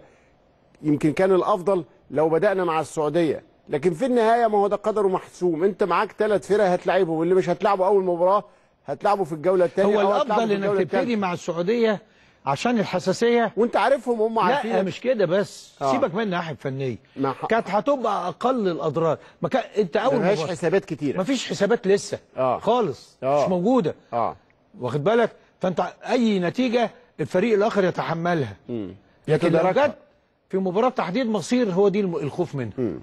هنلعب إحنا مع الأوروجواي مباراتنا هتبقى يوم الجمعة 15 يونيو وهتبقى الساعة 2 الظهر. دي مسألة برضو ناس كتيرة كانت مهتمة تعرف توقيتات المباريات. الجولة الثانية مصر هتلعب ضد روسيا والمباراة هتبقى يوم ثلاث يعني هنلعب جمعة وثلاث هنلعب الثلاث هتبقى 19 يونيو المباراة هتبقى 8 مساء. يعني مرة الساعة 2 الظهر مرة الساعة 5 الساعة 8 مساء بتوقيت القاهرة مباراتنا مع روسيا. والسعودية هتلعب مع الأوروجواي يوم الأربع 20 يونيو هتبقى الساعة 5 مساء. الجولة الثالثه مصر والسعودية هتبقى يوم الاثنين 25 يونيو ودي هتبقى الساعة 4 العصر. بينما روسيا هتلعب اوروجواي في نفس اليوم بس هتبقى الساعة 4 أيضا في توقيت القاهرة مباريات الجولة الأخيرة تملي بتبقى في توقيت واحد. إحنا هنلعب فيما لو قدر لينا بإذن الله تعالى يا رب نكمل. هنلعب في تصفياتنا مع المجموعة الثانية اللي فيها المغرب مباريات المنتخب المغربي اللي وقع في المجموعة الثانية مع إسبانيا والبرتغال وإيران. يعني آه، المجموعة الأولى اللي هيعدوا هيلعبوا مع, مع المجموعة. الثانية آه.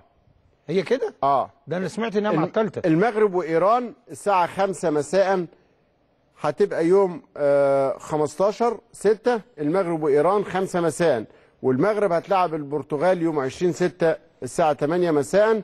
ويوم 25 6 المغرب وأسبانيا الساعة 8 مساء. آه المنتخب التونسي زي ما أنتم حضراتكم عرفتوا قرعته هيلعب مع بلجيكا وإنجلترا وبنما. هيكتور كوبر الأرجنتيني المدير الفني للمنتخب الوطني قال بعد القرعة إحنا جايين عشان نكسب.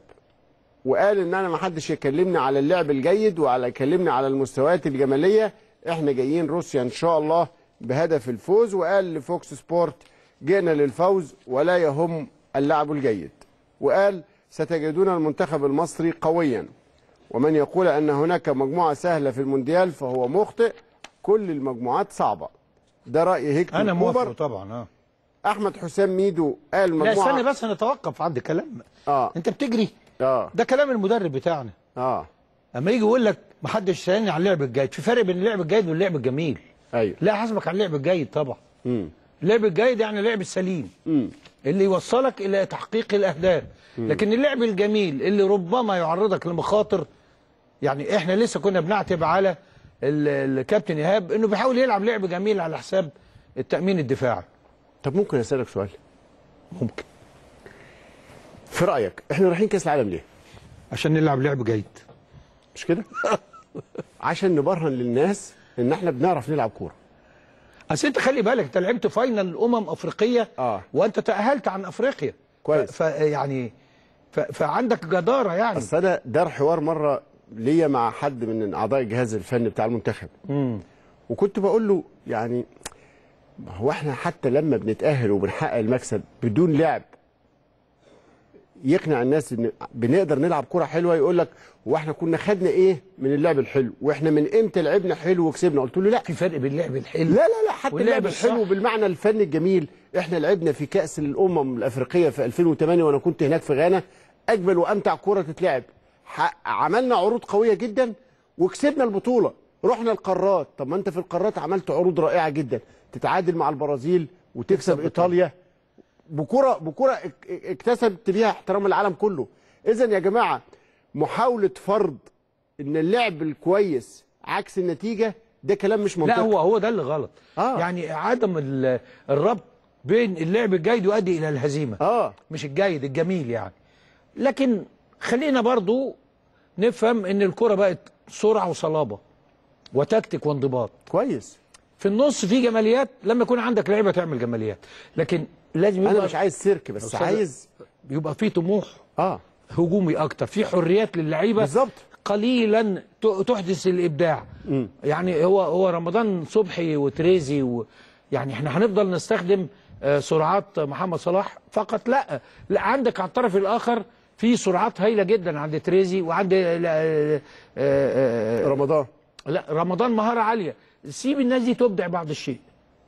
أنا عايز أقول لك على حاجة ما إحنا على سبيل المثال ما حدث في آه، إيطاليا 90 اللي أنت اكتسبت بيه احترام الناس اللي اتفرجت على ماتشك مع هولندا خسرته في مباراتك مع إيرلندا. معلش بقى يعني وحتى في في المحصله العالم قارات حتى المدربين. إيطاليا وخسرنا. لا أنت لو أقصد- خسرت من أمريكا واحد أو اتنين كنت أنت اللي لعبت final أيوه لا أنا أقصد يعني أنت رايح كأس العالم عشان تقدم كورة بلادك بشكل كويس. مش علشان يعني نروح نقول نقدر نتأهل. طبعا نلعب كورة محترمة بقول لك إيه؟ نقنع الناس بقدراتنا. قانون كرة القدم. ولما نتأهل يبقى كويس قوي. قانون كرة القدم اتغير عشان مباراتنا مع إيرلندا. آه. اتمنع ترجيع الباص. للجول زهقنا الناس. الراجل بقى جاكي شارلتون يتهته. آه. قال لك جاي. قال له يا عم هاجمني هات فيا جون. اعمل أي حاجة بس حسسني إن دي كورة. عمال تاخد الكرة ترجعها عمال تاخد فأنا أقصد كده يعني حتى فكرة الدعاية السلبية اللي أنت ممكن تت- تتخيل إن أنت بتحقق point. أجيب لك من الآخر. آه. اكسب الاحترام قبل أي شيء قبل ما تكسب المباراة. هو ده ده ده ده, ده, كان آه، سؤالي. آه. إحنا رايحين ليه؟ رايحين نقدم كورة بلدنا في شكل كويس. ماشي نتائج- بلدنا ده برنامج ده كويس. يعني يعني الكره المصرية آه. واخد بالك؟ نقدم صورة كويسة عن الكرة المصرية. خاصة إن عندنا أفراد ما شاء الله. بقول لك إيه؟ آه. التعديل الثاني ده أحسن. مش رايحين نقدم الكرة المصرية. آه. رايحين نقدم صورة جيدة عن الكرة عن الكرة المصرية. لأن لو قدمت الكرة المصرية هنروح في سلم. لي على هنروح في داهية ميدو قال هي مجموعة متوسطة لكن معقدة شوية. وحازم إمام طبعا عشان الراجل عضو في اتحاد الكورة شايف إن هي قرعة ليست سهلة. أي مسؤول في اتحاد الكورة لو سألتوه هيقول لك مش سهلة خالص. هو لازم ينفي عن نفسه وهي سهلة يا إبراهيم. أو يشيل عن نفسه من دلوقتي عبء المساءلة. لا هي مش سهلة. لكن لا هي- ما هياش انتحارية. مش انت يعني إيه انتحارية؟ يعني أنت لما لما تلعب اورجواي زي ما تلعب البرازيل أنت فاكر يعني في فرق كبير. يعني البرازيل يعني بت- بتتفسح قدام اورجواي وقدام طب ولما كولومبيا تلعب السعودية؟ يا سيدي أبوخ ماتش. إيه رأيك بقى؟ لأنه الفرق المقفولة التكتيكية. كده إحنا نلعب في مجموعة لوحدينا. ما أنت عايزين إيه؟ الماتش صعب. ماتشات صعبة كلها. وعلى فكره كان لازم نقع لوحدنا في المجموعة والله العظيم. ثلاثة أصعب ماتشات اللي فيها الندية. آه. إنما الفرق اللي هي بت... أصل الفرق اللي بتلعبك بمزاج هجومي بتدي لك مساحات وتحتمل المفاجأة. مم. طيب المنتخب السعودي بيعتمد بشكل كبير جدا على اللعيبة المحليين. ما عندهمش احتراف آه، خارجي آه، يسمح بكده. ما, يوجد ما فيش أي لاعب محترف عندهم. عندهم الأندية الكبيرة جدا الهلال والأهلي والنصر أصحاب نصيب الأسد من اللعيبة الدوليين. دي آخر مباراة للسعودية مع البرتغال مباراة ودية. المنتخب السعودي بيضم في تشكيلته وليد عبد الله الحارس الأساسي للمنتخب سنه 31 سنة وبيلعب مع النصر مع أخونا حسام غالي. خلي خد بالك بس 71 ك- مباراة كلمة- دولية. في كلمة مهمة آه. عايزين نحللها. آه. إن فريق السعودية ما فيهمش محترفين. آه. ليس لضعف اللاعبين. هم بيتمسكوا بالاحتراف في الداخلي. ما أنا هقول لك. آه. ده رأيك. بس أنا عندي رأي تاني أهم. قول. هو اللعيب بره. لاعب اللعيب عايز يحترف بره ليه؟ عشان الفلوس. مم. ما تقوليش بقى إن هو فما عندهمش هم دوافع مادية. الفلوس إيه؟ آه. ده هو هيلاقي- بتيجي تاخد من عندهم. آه الفلوس اللي في السعودية أكتر من أي حتة. مم. هو مكتفي. يعني هو لما يجي له عرض هيجي له أقل بالتأكيد من اللي هياخده في السعودية. فدي يعني مش لأن ما فيش لعيبة تستاهل الاحتراف. مم. مفيش دوافع للاحتراف. عنده في خط الدفاع عنده أسامة هساوي قائد المنتخب السعودي 33 سنة لاعب الهلال. هو من أكثر اللعيبة خوضا للمباريات في الجيل الحالي. عنده 129 مباراة سجل سبع أهداف. عمر هساوي يبلغ من العمر 32 سنة. آه، فريق النصر آه، أيضا منصور الحريبي ظهير الله يعني في اتنين منتخب هساوي؟ السعودية. في اتنين هساوي لا يبلغ من العمر 30 سنة أسامة وعمر أهو. آه، هم عمر وأسامة آه. إخوات دول ولا إيه؟ ظهير أيسر آه، منصور الحربي هو ظهير أيسر ال- المنتخب سنه 30 سنة بيلعب في أهلي جدة. خاض 34 مباراة دولية سجل هدف وحيد وياسر الشهراني عنده 35 سنة بيلعب في الهلال لعب 29 مباراة واضح جدا معظم الأعمار فوق ال 30 يعني عندهم خبرات عالية. في نص الملعب عندهم نواف العابد وتيسير الجاسم ويبلغ من العمر 33 سنة بيلعب في أهلي جدة لعب 124 مباراة دولية وسجل 17 هدف ويحيى الشهري 27 سنة لاعب نادي النصر ده بيلعب جنب حسام غالي لعب 51 مباراة دولية وسجل خمس أهداف. سلمان الفرج عنده 28 سنة لاعب الهلال شارك في 36 مباراة دولية وسجل هدفين. نواف العابد آه، 27 سنة لاعب نادي الهلال وخاض 43 مباراة دولية وسجل 8 أهداف. يا جماعة المنتخب السعودي عنصر الخبرة واضح جدا فيه سواء في عدد المباريات الدولية أو في السن. المنتخب السعودي في الهجوم عنده محمد السهلاوي ده المهاجم الأشهر للأخضر بيبلغ 30 سنة ولعب بيلعب لفريق النصر خاض 33 مباراة وسجل 27 هدف وفهد المولد اللي عنده 23 سنة بيلعب لاتحاد جدة وخاض 39 مباراة سجل فيها تسع أهداف سجل هدف تأهل الأخضر الشهير في شباك اليابان فهد المولد آه، أبرز المهاجمين مع محمود حسن أو محمود كهربا. ده المنتخب السعودي يا باشمهندس. متوسط السن عالي شوية. آه. في خبرات لكن مؤكد هيقابلها قد- قدرات بدنية. امم أقل. آه، جريدة عكاظ بتستشهد بمباراة القارات وسلطت الضوء على وقوع منتخبها مع المنتخب المصري وقالت صحيفة عكاظ في تعليقها المرة الثالثة التي تجمع السعودية مع منتخب عربي بالإشارة إلى مباراتهم مع المنتخب المغربي في 94 وأيضا المنتخب التونسي في س- 2006 والمرة الثالثة ليهم مع مصر في كأس العالم.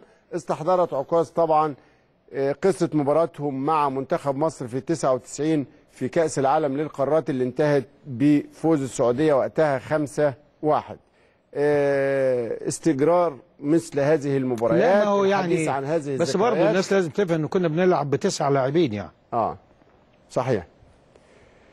هنشوف برضو ضمن آراء بعض نجوم الكرة المصرية حول القرعة هل القرعة سهلة قرعة متوسطة فرص المنتخب المصري فيها إيه؟ نشوف الكابتن محمد فضل يتحدث لأون سبورت وفضل الحقيقة مكسب للتحليلات الرياضية ماشي بشكل جيد جدا وعنده رؤية متميزة.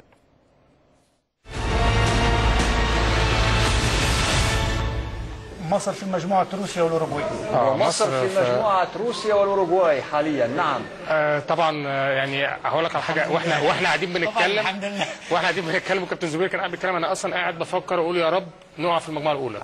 فالحمد لله إحنا وقعنا كده. بس أتمنى إن التصنيف الثاني الكابتن زبير اتكلم فيه ما نقعش في منتخب من المنتخبات القوية. خلاص خدوا الصف الثاني. كده إسبانيا خلصت الصف الثاني. آه، اورجواي خلصت. أوروغواي لا، الصف. الثاني بالنسبة لكم. آه إحنا كده إحنا إحنا آه إن شاء الله.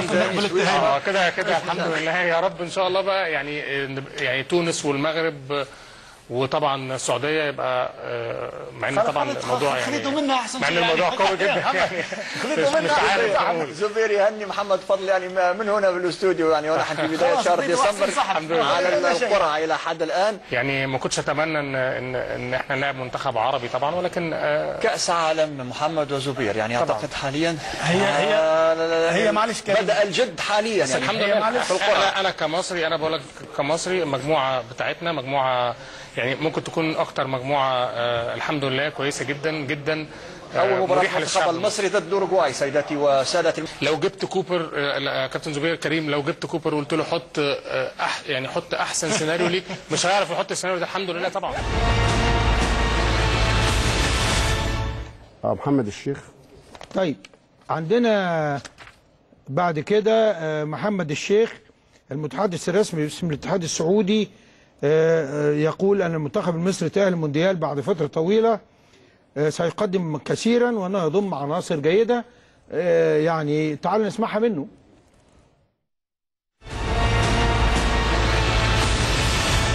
مجموعتنا منتخب المصري منتخب المصري يعني خلينا نتحدث عن المنتخب المصري الآن. بصراحة المنتخب المصري آه، تأهله لكأس العالم بعد فترة طويلة. راح يقدر يقدم شيء خاصة إنه راح يكون أول لقاء لهم على الاوروغواي شوف آه، منتخب مصر تقدر تنظر له من جانبين، الجانب الأول أنه منتخب يضم عناصر آه، جيدة يعني آه، وعنده محترفين اليوم في في أقوى الدوريات، يكفي تتكلم عن محمد صلاح اليوم هو هداف الدوري الإنجليزي مع ليفربول. وتنظر من الجانب الثاني أن منتخب متعطش للحضور في لكأس العالم، غياب منذ العام 1990 آه، الكل شغوف بالتواجد، اللاعبين يعتبر الآن أكثر من جيل مر على المنتخب ال- المصري لم يصل لكأس العالم، آخر جيل جيل مجدي عبد الغني وجيل حسام حسن. آه، مرت أجيال كانت تستحق جيل ميدو مثلا آه، حققوا أكثر من آه، كأس أفريقيا ومع ذلك لم يصلوا لكأس العالم، وبالتالي هذين الجانبين جانب وجود عناصر جيدة، جانب هذا الشغف الموجود لدى الشارع المصري بالعموم أن يتواجد في كأس العالم، هذا يدفع لحضور قوي، حضور فني وحضور نفسي. وبالتالي أيضا إحنا لما نقول مجموعه متوازنة وإن تمنينا والأمنية ليست لأن المنتخب ضعيف الامنيه طبعاً. الأمنية أن يعبر منتخب عربي ليس لأن المنتخب السعودي ضعيف في مقابل مصر. وأنت تعرف خصوصية المواجهات الفرصة ستكون مواتية أن يعبر منتخب عربي ولو على حساب منتخب عربي. طيب نشوف بقى رأي تونسي مهم. نشوف رأي زبير بيا النجم التونسي الكبير. رأيه إيه في إنه فرقتين عربيتين يقعوا مع بعض في مجموعة واحدة؟ هل ده يخدم الاثنين ولا صعب على الاثنين؟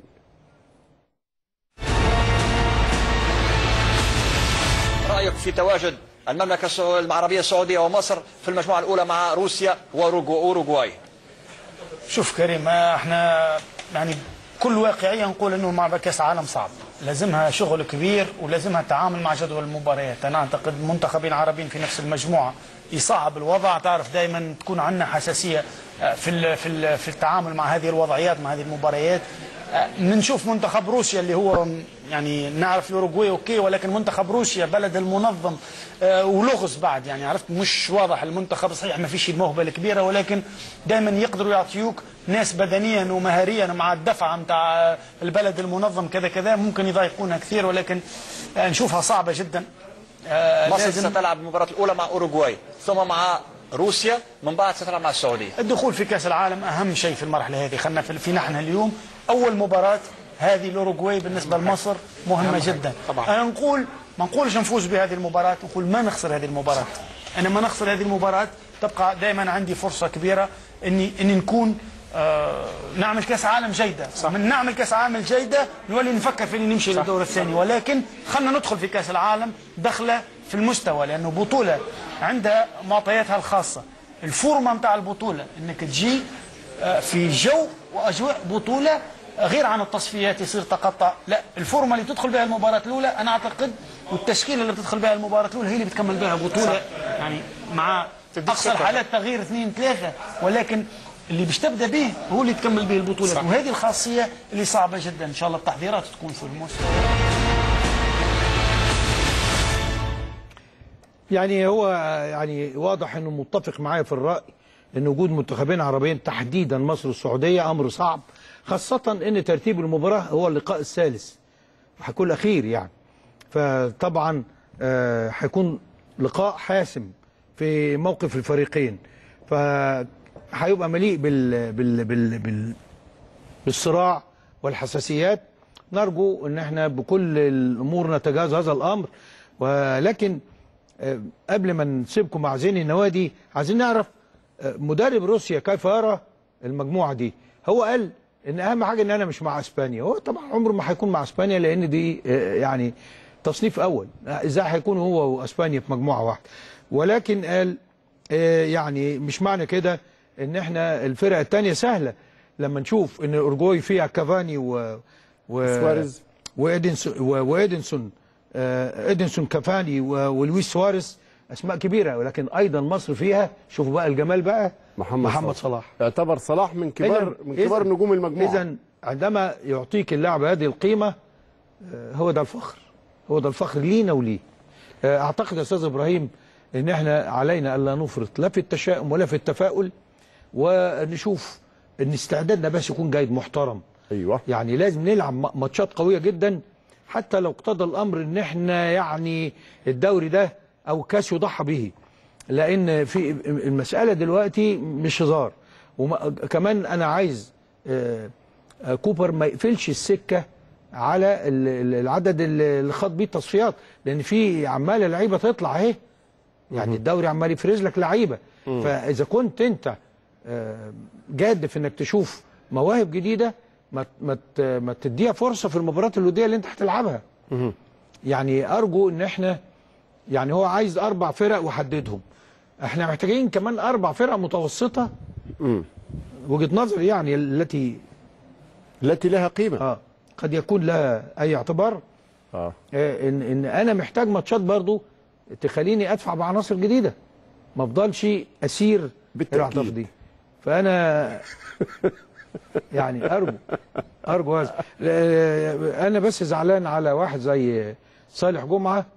بيفرط في فرصة العمر أن يكون في هذا المونديال. لاعب إذا أراد أن يكون ده استجابة لرأي حد من المشجعين. أراد أن عايزك يكون في صلاح. في. منتخب مصر في إيده. بس بوابته هتكون مين؟ النادي الأهلي. أوعى تفتكر يا صالح إنك تستطيع إنك تناكف الأهلي أو تزهقه أو تتصرف على مزاجك وهيبقى لك أي مكان في منتخب مصر. ارجع يا صالح زي ما قلت. أنا بعتذر انت كل شوية تعتذر. يعني زهقنا اعتذارات بقى يعني ورينا حاجة. ألف مبروك للنادي الأهلي لجماهير النا- النادي الأهلي لأعضاء النادي الأهلي لمستقبل وقيمة وصورة النادي الأهلي. الذي أثبت إنه المعلم. ليس أولا معلم وليس عظيما. لأنه يفوز ولكنه يفوز لأنه عظيم. عظمة النادي الأهلي تجلت في عظمة جمعيته العمومية وتلاحم جماهيره والمشهد الرائع اللي شفناه آه، يوم الخميس الماضي. دمتم للأهلي دائما ودام لكم الأهلي بإذن الله تعالى بطلا شامخا وعلى خير نلتقي في التاسعة مساء الخميس القادم إن شاء الله ونعم الختام زين النوادي. وجلالا تحية وجلالا أيها النادي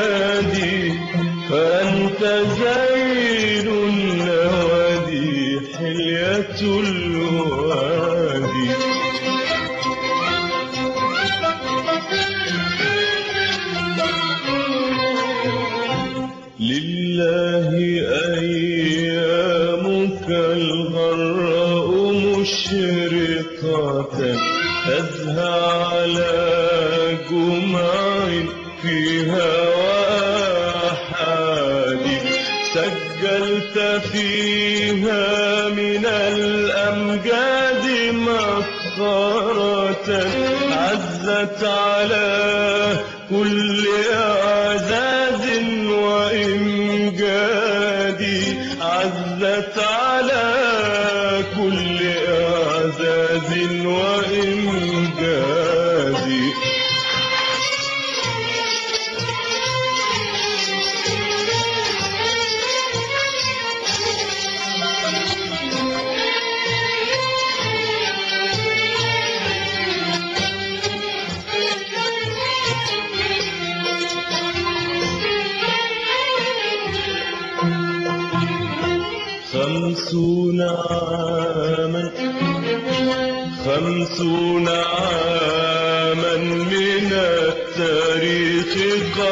قد خشعت لها القرون بأعوام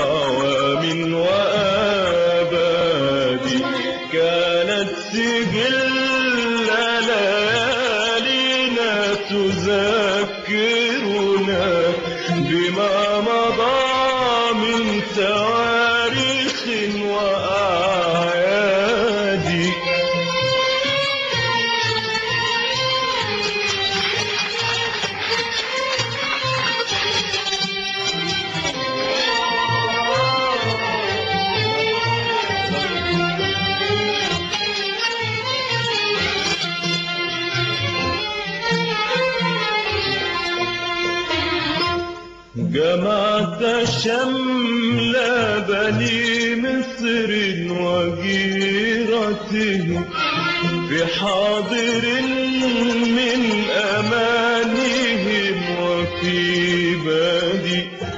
وكنت مشعلنا الوضاء نرقبه ليجعل الشمل في حفل وإسعاد فيه تلاقى بنو